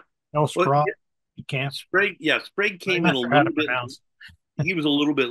He was a little bit later. Um, I, I knew him a little bit. Uh, I used to see him at conventions, and uh, for Sorcerer's Apprentice magazine from Flying Buffalo, we uh, we got an article from him. Um, oh. and and he was uh, he was really instrumental in helping Conan stay around and grow. Um, there are a lot of critics of the way that Sprague used to uh, edit the Conan books, and especially um, the way that he and, and Lin Carter and a couple other guys would take uh, non Conan stories and then turn them into Conan stories. Mm-hmm. Um, so there's a lot of diehard fans of Robert Howard's who don't like what Sprague did. Um, I think that I think what they don't know, and, and I only know from having had a conversation with him, is the number of things that he caught that writers were going to put into Conan stories that he said, no, you know, that's not going to work, uh, is great because the the output, uh, you know, during the Jordan years and and all the people who were writing around then, or many of them, um, just wouldn't have been as good as they were if not for Sprague Camp. Um, that doesn't mean, and I, I, I tend to agree. I think Sprague should not have done the the the hacking together of, of stories uh, the way they were done. I, I I don't like that, but uh, but that's you know, uh, but it did, it did keep keep Conan alive. So just the Kull stories. Which is that? Was he taking the Kull the Conqueror stories and? It wasn't called the Conqueror stories. Um, Howard, uh, there was a magazine called Adventure, if I recall, that um, uh, Howard desperately wanted to break into, and Howard was doing. Uh, Adventure used to do a lot of historical stories or historical sounding stories. Uh, mm-hmm. Frank Yerby uh, used to write these wonderful um, uh, uh spectacles, uh, historical, uh, short historical novels. Um, and and Howard desperately wanted to break into that market, and so he was doing stories that were set in the Middle East or set in Afghanistan or set in these uh, different spots, and he was trying to make them very historical. Um, and these are stories that ended up uh, being rewritten into uh, Conan stories, um, and that just wasn't. And and the other thing, and I've said this to at various points, the there are different ways that you can look at Conan, and L. Sprague de Camp, who was a college professor, hmm. uh, always well dressed, always well spoken, always very kind to me. Um, he viewed Conan as the noble savage. I and others have seen Conan as in a, in a different light. To me, Conan is always the wolf at the edge of the firelight. You don't know if it's there to eat you or if it's there to stave off with you whatever else is out in the darkness.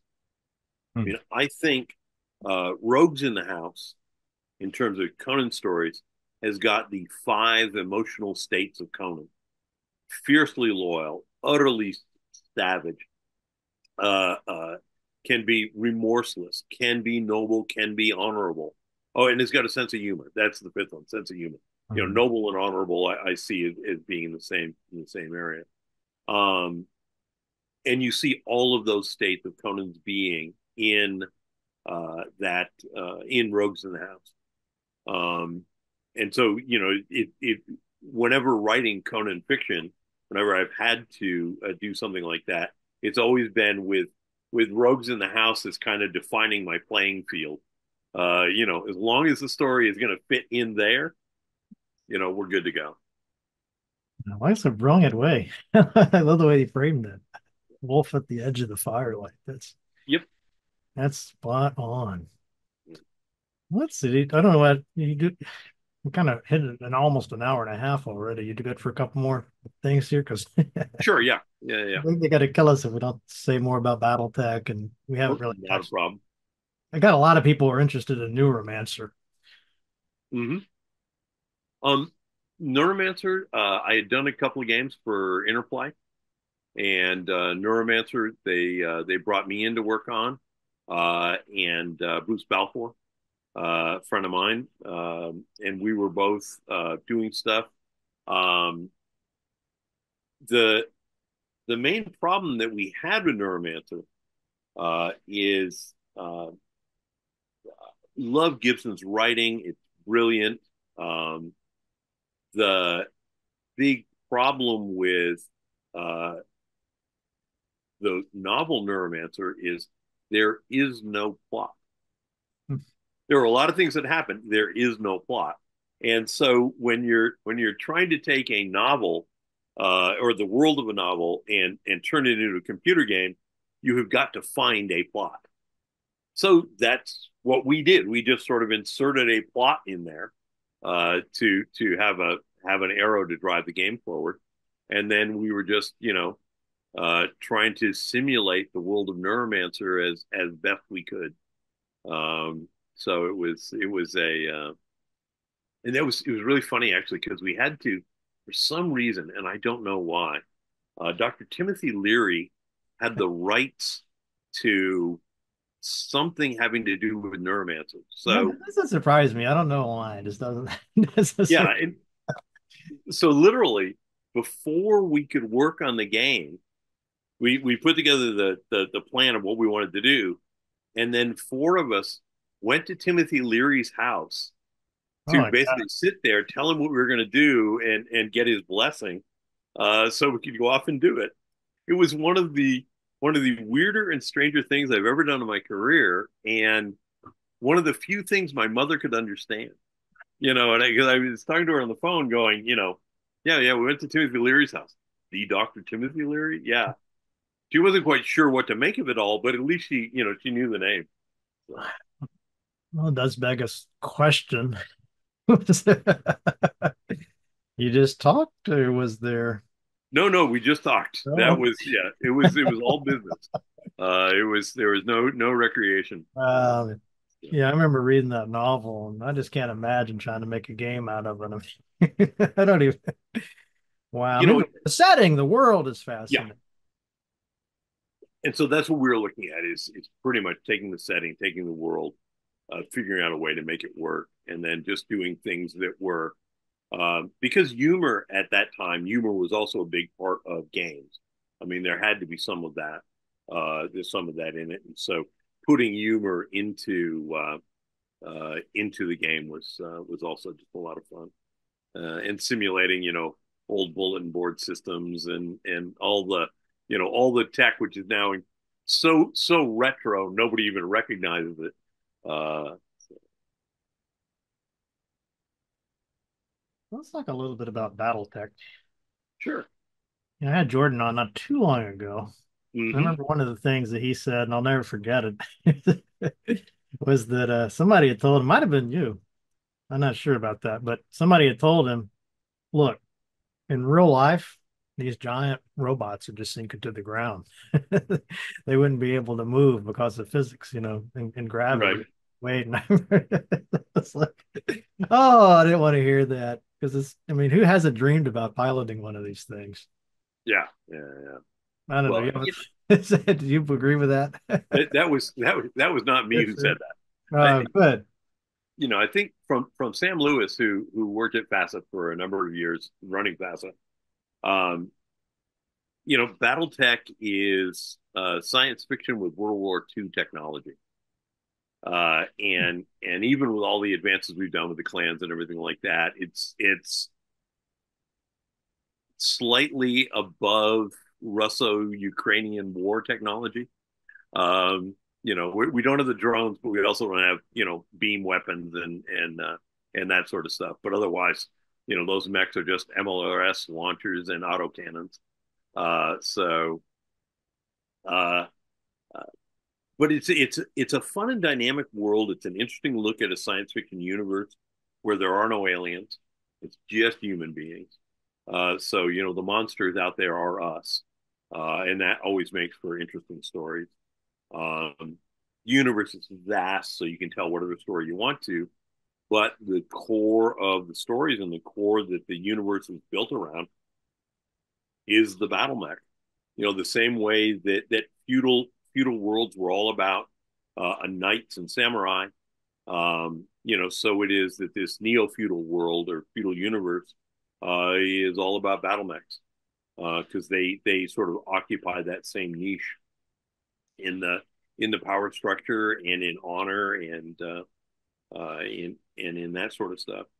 It's um, you know, it's a universe that uh, I really like, and I'm real happy that been able to inject a lot of politics into it and a lot of a lot of cool ideas. Um, you know, having worked with the team for well now getting on the past 36 years, uh, uh, uh having been um, uh, part of what's been going on and helping plan it, and then helping to both uh, write the stories and and now, which is very weird. You know, now I'm in that point in my career where I'm helping bring in new writers uh, you know, to the, be the people that can take over for me when I finally, you know, fake my death and, and move to the Seychelles.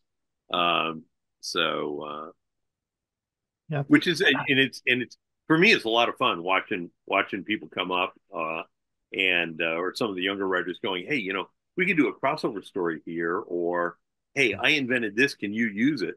Uh, or I'm going to use something you did. Is that okay? It's just a lot of fun watching the universe and, and the way it the interconnections still remain there.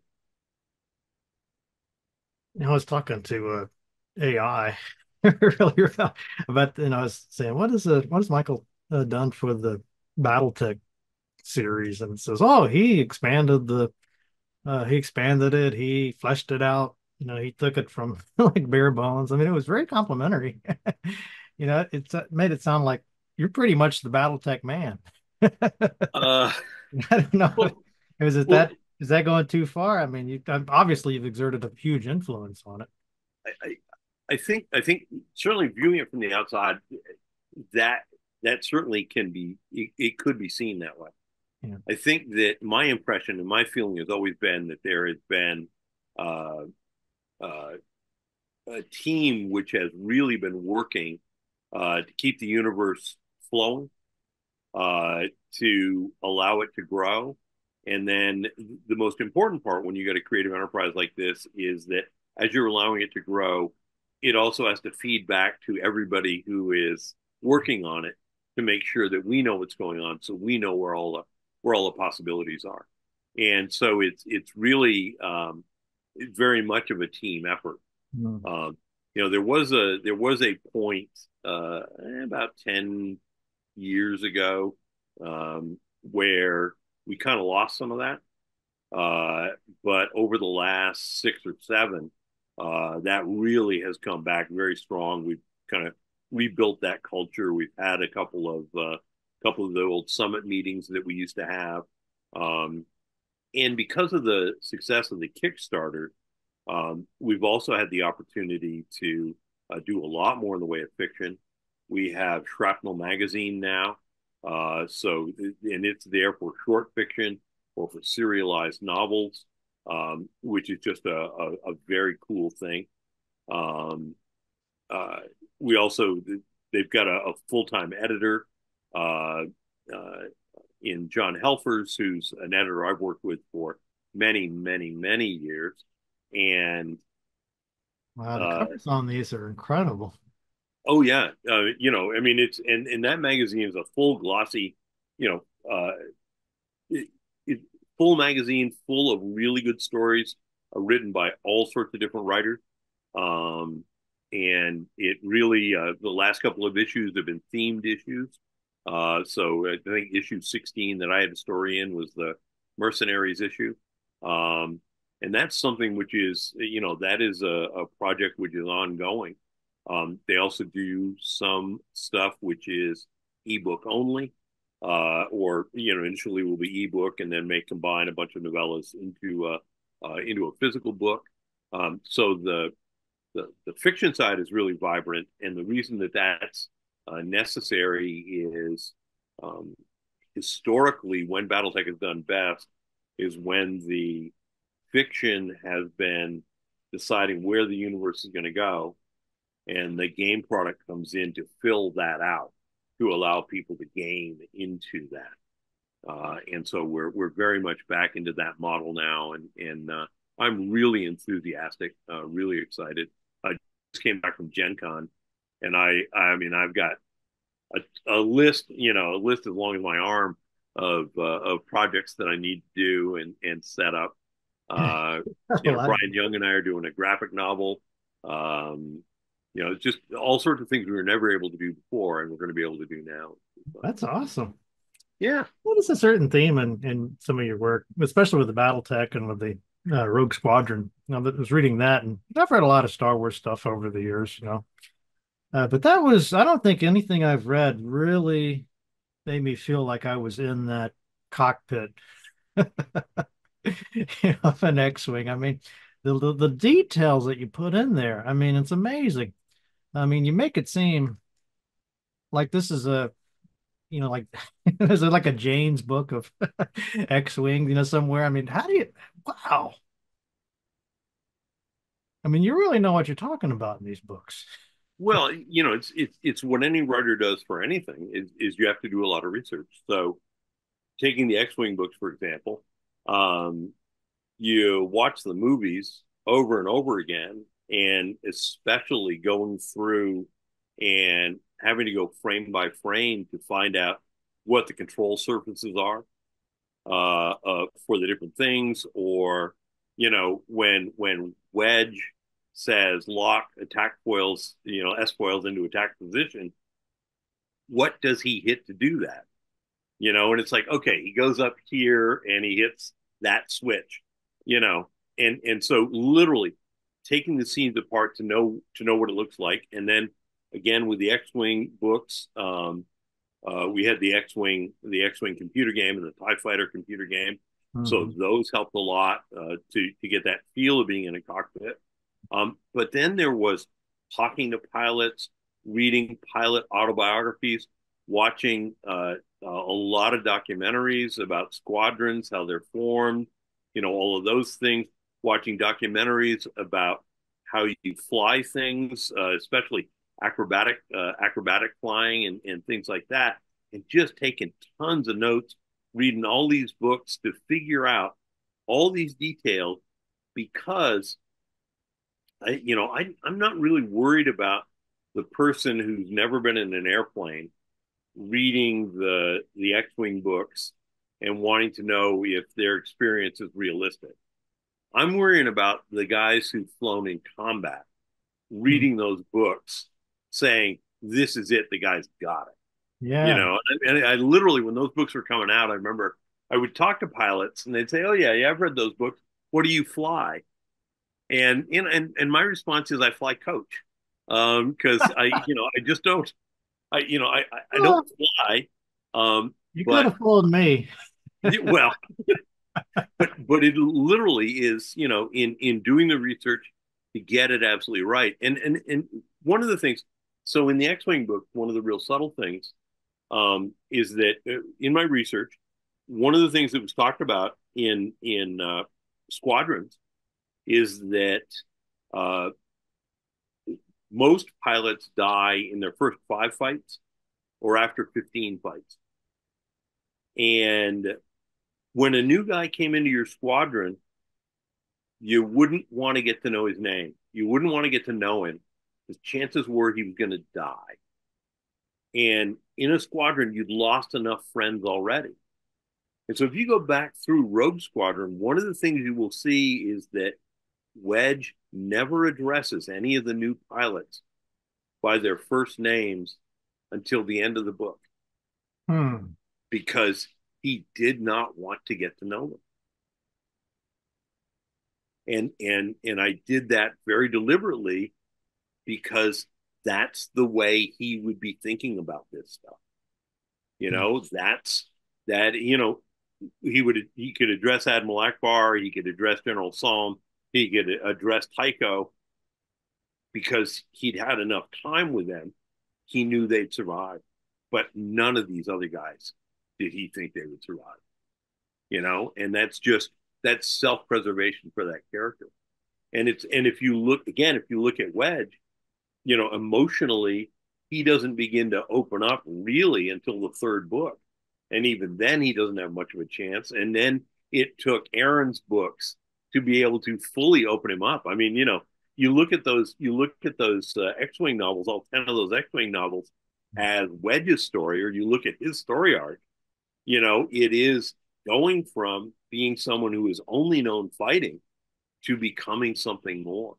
Uh, and and it, I'm enormously enormously proud of that, and also really proud of what what Aaron did you know, because Aaron Aaron picked up what I was laying down and and going, and and that is the best. When you're doing tie-in work, and it's it's like you know, uh, uh, a bunch of jazz musicians just to, just getting together and jamming, uh, you know, and each of us picking the parts out of what everybody else is doing, paying respect to them, uh, and then having them uh, having them go forward is is um, it's just a lot of fun.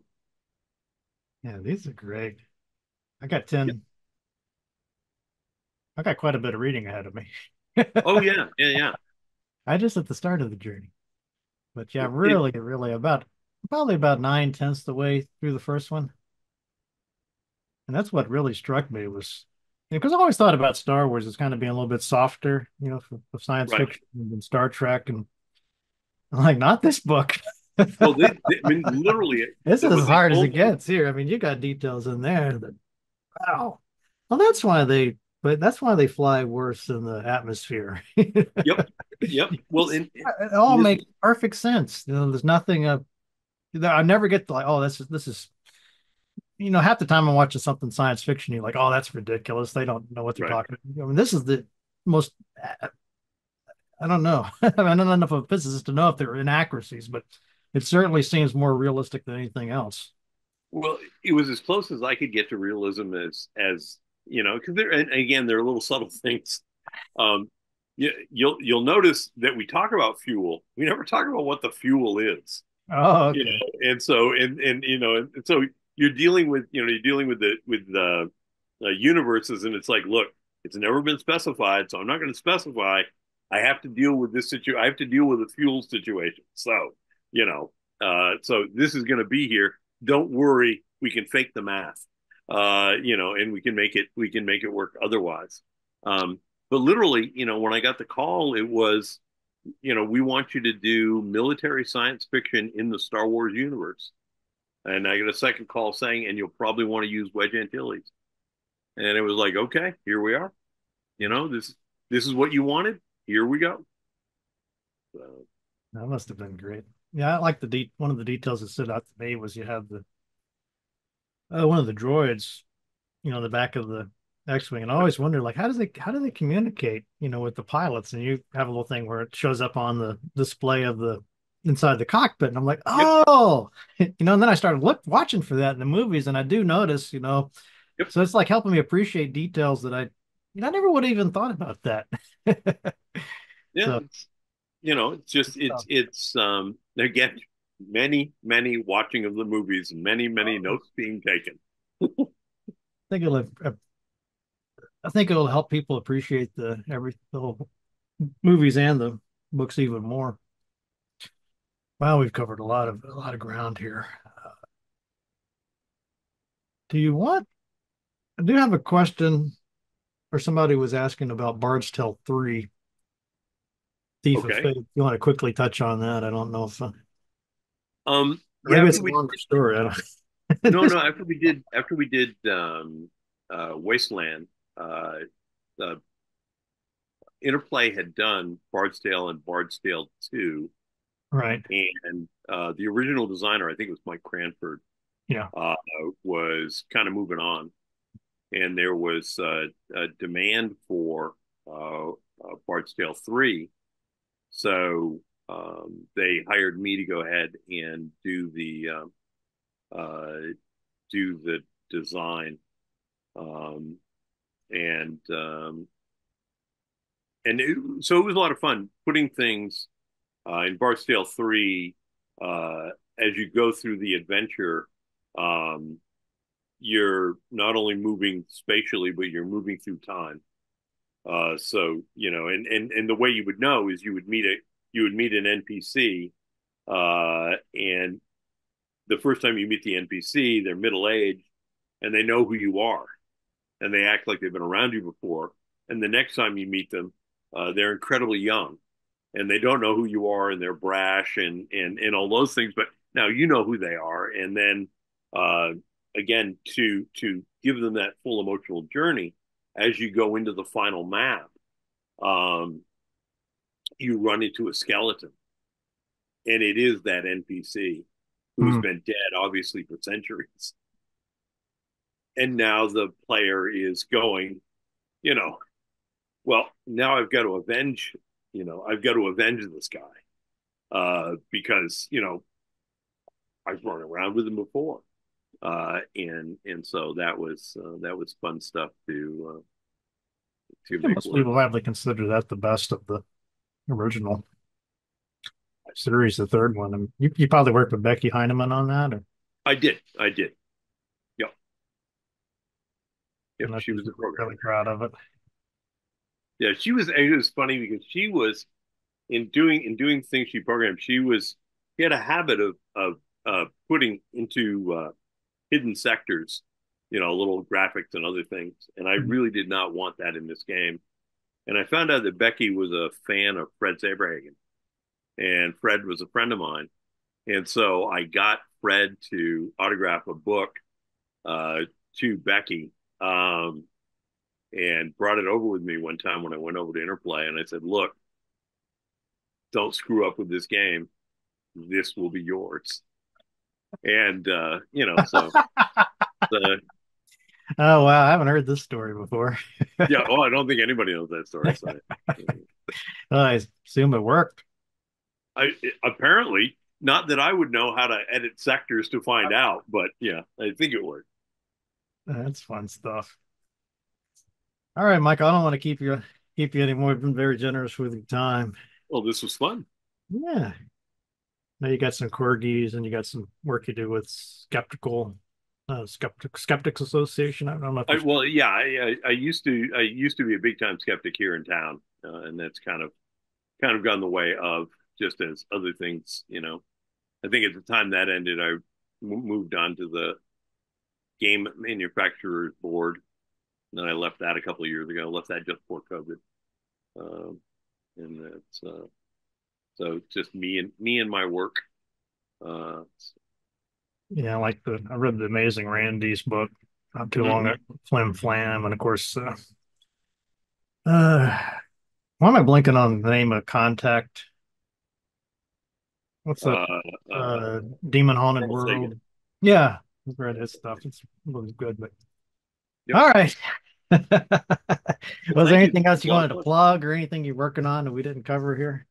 Well, you know, I think I think um, uh, we started off at, at looking at Scratch, looking at my Patreon project, yeah, and uh, back to that. You know, folks are folks are welcome to take a look at that. And I then, uh, like say, the best value you're going to find, folks, because I mean, this is lots of con 56 of these. Yeah, there's a there's a lot of there's a lot of stuff sitting there, um, and uh, they'll probably be 57 will probably come out in in August. Um, so, uh, but uh, but yeah, so um, yeah, I've been are, one that I was reading. You had a little note at the start, kind of an author's preface, I guess, or a little update, sort of what's going on. right. And you talked in there about how you authors you'd heard a lot of authors say, "Well, I don't know where this is going to end up," or that, so kind of circle all the way back to the very first part of this chat, you know. So yep, you got lots of stuff to read. yeah, yeah. I, I, I have been somewhat very prolific. thoughtful guy. Well, it was it was funny. I, this last weekend, I was at a at a writers conference in uh, in uh, uh, in Salt Lake City, and I had given a talk on how to write a series. You know, yeah. so things you want to set up, things you want to look at, all these things. And uh, a guy who'd come in late, I'd introduced myself at the beginning of the class guy had come in late. He came up to ask me some questions at the end of the class. Um, and then he said, So basically, his question was, Who are you to be telling us how to write series? You know, basically, I've never heard of you. and there was another guy who was sitting there taking notes. Uh, we were the only three of us left in the room. And he just looked up and said, I took a class from him two years ago and I looked him up. He's something of a big deal. Um, so it's nice when you have a student saying, "Yeah, you know, you've done oh. some work. You know what you're talking about." Wow. Yeah, I think I heard you say you've got sixty something books. I think it's now seventy. Somewhere 70 in books. Yeah, yeah, somewhere in oh. somewhere in that area. Yeah. Wow. It is. It is a few. You're prolific. yeah. That's more. That's got to. You must do about two or three a year, I guess. Huh? Uh, you know, it, I mean, it depends. Uh, all I care about is, is I've done more books than I've been alive uh, for years. So, uh, you know, so what the record is on that. Oh, geez. I mean, you know, guys like, uh, I mean, a, a, friend of James Randi's was uh, Walter Gibson, who wrote the Shadow, uh, the the novels about the character of the Shadow. He hmm. wrote two 50,000 word novels a year for or a month to a month for 14 years. So that's ethic. The work ethic. Yeah. yeah. I get students complaining about a couple hundred words, you know. yeah, yeah, exactly. exactly. this guy's written 70 bucks. Okay. I'll let you get back to that writing. All right. Thank you very much. Thanks again. This has been awesome. Thank you. Yeah, yeah, I enjoyed it. Thank you. I'll certainly post links to every all the stuff we talked about here. So hopefully we'll get you some new patrons. that that would be great. This, yeah. Okay. All right. thank you very much. Keep in touch. Okay, we'll do. Bye bye.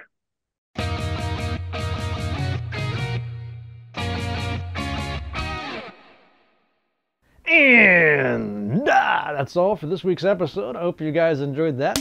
Uh, she'll be back really soon. Probably have Julia on from the Crimson Diamond game. Uh, hoping to get her on soon. Uh, hopefully within the next couple of weeks we'll see her and hear about this new game she just launched. Uh, really fantastic stuff if you are a fan of EGA graphics and that whole uh, era of uh, adventure games, which I'm pretty sure you are if you like this channel, so stay tuned. As always, I want to thank you very very, very, very much for supporting me, my poor little Matt Chat channel. Thank you. oh my goodness, the thanks. Are you feeling the gratitude? it's, it's coming at you in waves. Yes, thank you for keeping this show on the on the air, folks. Really means a lot to me. Uh, people going to my link there in the show notes to the Patreon page, becoming a Ratron, part of the team, getting access to that Discord, behind the scenes stuff, extra bonus uh, material. So uh, if you've already signed up, thank you for that. Uh, again, you have my eternal thanks.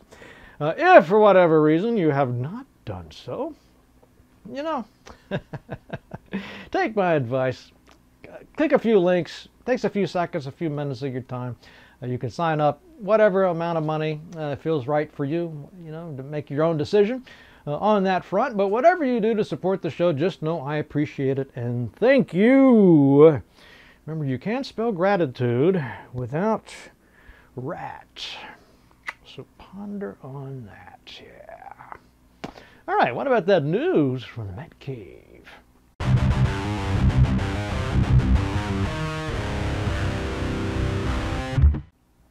Do we have any news for you? Yes, I think we can supply. Uh, Miko, good old Miko, another one of the fabulous people that you'll meet if you sign up to become a patron, Patreon, and check out our Discord channel. You'll get to see uh, Miko and chat with him. Always up with the latest and greatest news of interest to Matt Chatters. Uh, anyway, let's see what Miko has for us this time. Uh, so Mr. Fargo, Brian Fargo, uh, who I've had on the show a couple of times, good. Also, he's also a, a, big supporter of the show, by the way. Great guy. Anyway, after 20 years of patience and negotiations, RPG veteran Brian Fargo has bought back a lost haul of memorabilia from Fallout, Baldur's Gate, and more. I even saw some Stonekeep uh, stuff in this this uh, collection. Uh, so he's comparing it to the show's Storage Wars. but this is for all the stuff that uh, Brian has worked on over the years. Lots of awards there, clippings, promotional stuff, big posters, just all kinds of uh, wacky items uh, that you'd probably love to have in your collection. oh, yeah, Brian, if you got a few extra things, uh, you don't have enough space for them, you know, I could probably find a place for them here in the humble Matt Cave. Let's see what else it says here. Yeah, he's got a quote. He was uh, looking at some uh, some of these awards he won, and they were awarding him for selling uh, anywhere from 50, 50 to 100,000 units. Uh, you might get an award for that. Uh, whereas now he says it would be the end of your career if you had those kinds of numbers. Uh, so it's kind of eye-opening to think about how big this industry has become, and really not that long of a period. Kind of explosive. Uh, but anyway, that's a lot of fun. Uh, definitely go check out um, the tweet stream. You can see pictures of all this stuff. It's really, really cool. Uh, and then Miko also writes in about a game called Heroes of Might and Magic Olden Era. Olden, O-L-D-E-N, unveiled at Gamescom, releasing on PC and Steam Early Access in the first half of 2025. What is Olden Era? Olden Era, not quite sure how to pronounce. Let's just go with Olden Era. Uh, so this is before the events of the first uh, first game. Takes players back to the world of Enroth and the continent of Jadame. Jadame? Uh, anyway, has new factions, biomes, creatures, and I uh, made a note of a few other things here. Let's see. Uh, yes, some new features. Uh, so players will have more control over how they level up their heroes and their factions. With faction-specific abilities, new systems for learning skills, magic spells, and artifacts, uh, that impart bonuses if you equip an entire set. And so some pretty cool new features. Looking forward to this. That is Heroes of Might and Magic Olden Era. So will it compare to the earlier games in the franchise? We will have to wait and see. But hope springs eternal.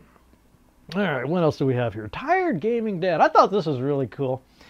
Uh, so you know who Sid Meier is, I hope. you know, I want to get Sid Meier on this. Wouldn't it be awesome to have a chat with Sid? If anybody knows uh, Sid Meier, uh, can we get him on the show? Uh, can you set that up for old Matt Barton? I love the chat with Sid.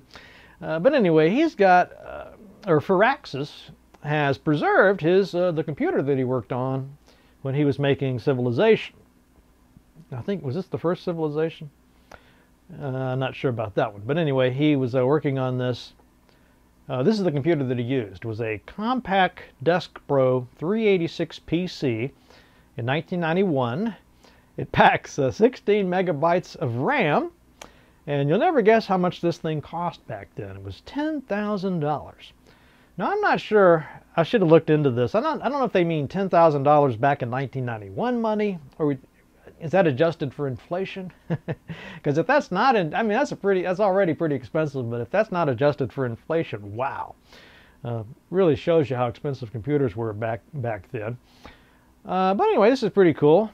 Uh, we're going to have Civilization 7 coming out soon, February 11th, 2025. Really looking forward to that. and I also made a little additional note here from the article. So apparently he had two of these computers, uh, but uh, when he tried to boot up one, it exploded. so, so scratch that one. Uh, but thankfully, the second one survived and has been preserved, and you can go see it. Uh, it's pretty cool stuff. All right, let's wrap it up with a quotation. And uh, it's not hard to find a quotation when you have an author on the show. You'd think Michael A. Stackpole would be good for a quote, and of course he's got lots and lots of great quotes, but uh, I really like this one. It goes something like this. If you can't recognize the man in the mirror, it's time to step back and see when you stop being yourself. Pretty deep stuff there. So, anyway, hope you guys enjoyed that, and I'll see you guys next time.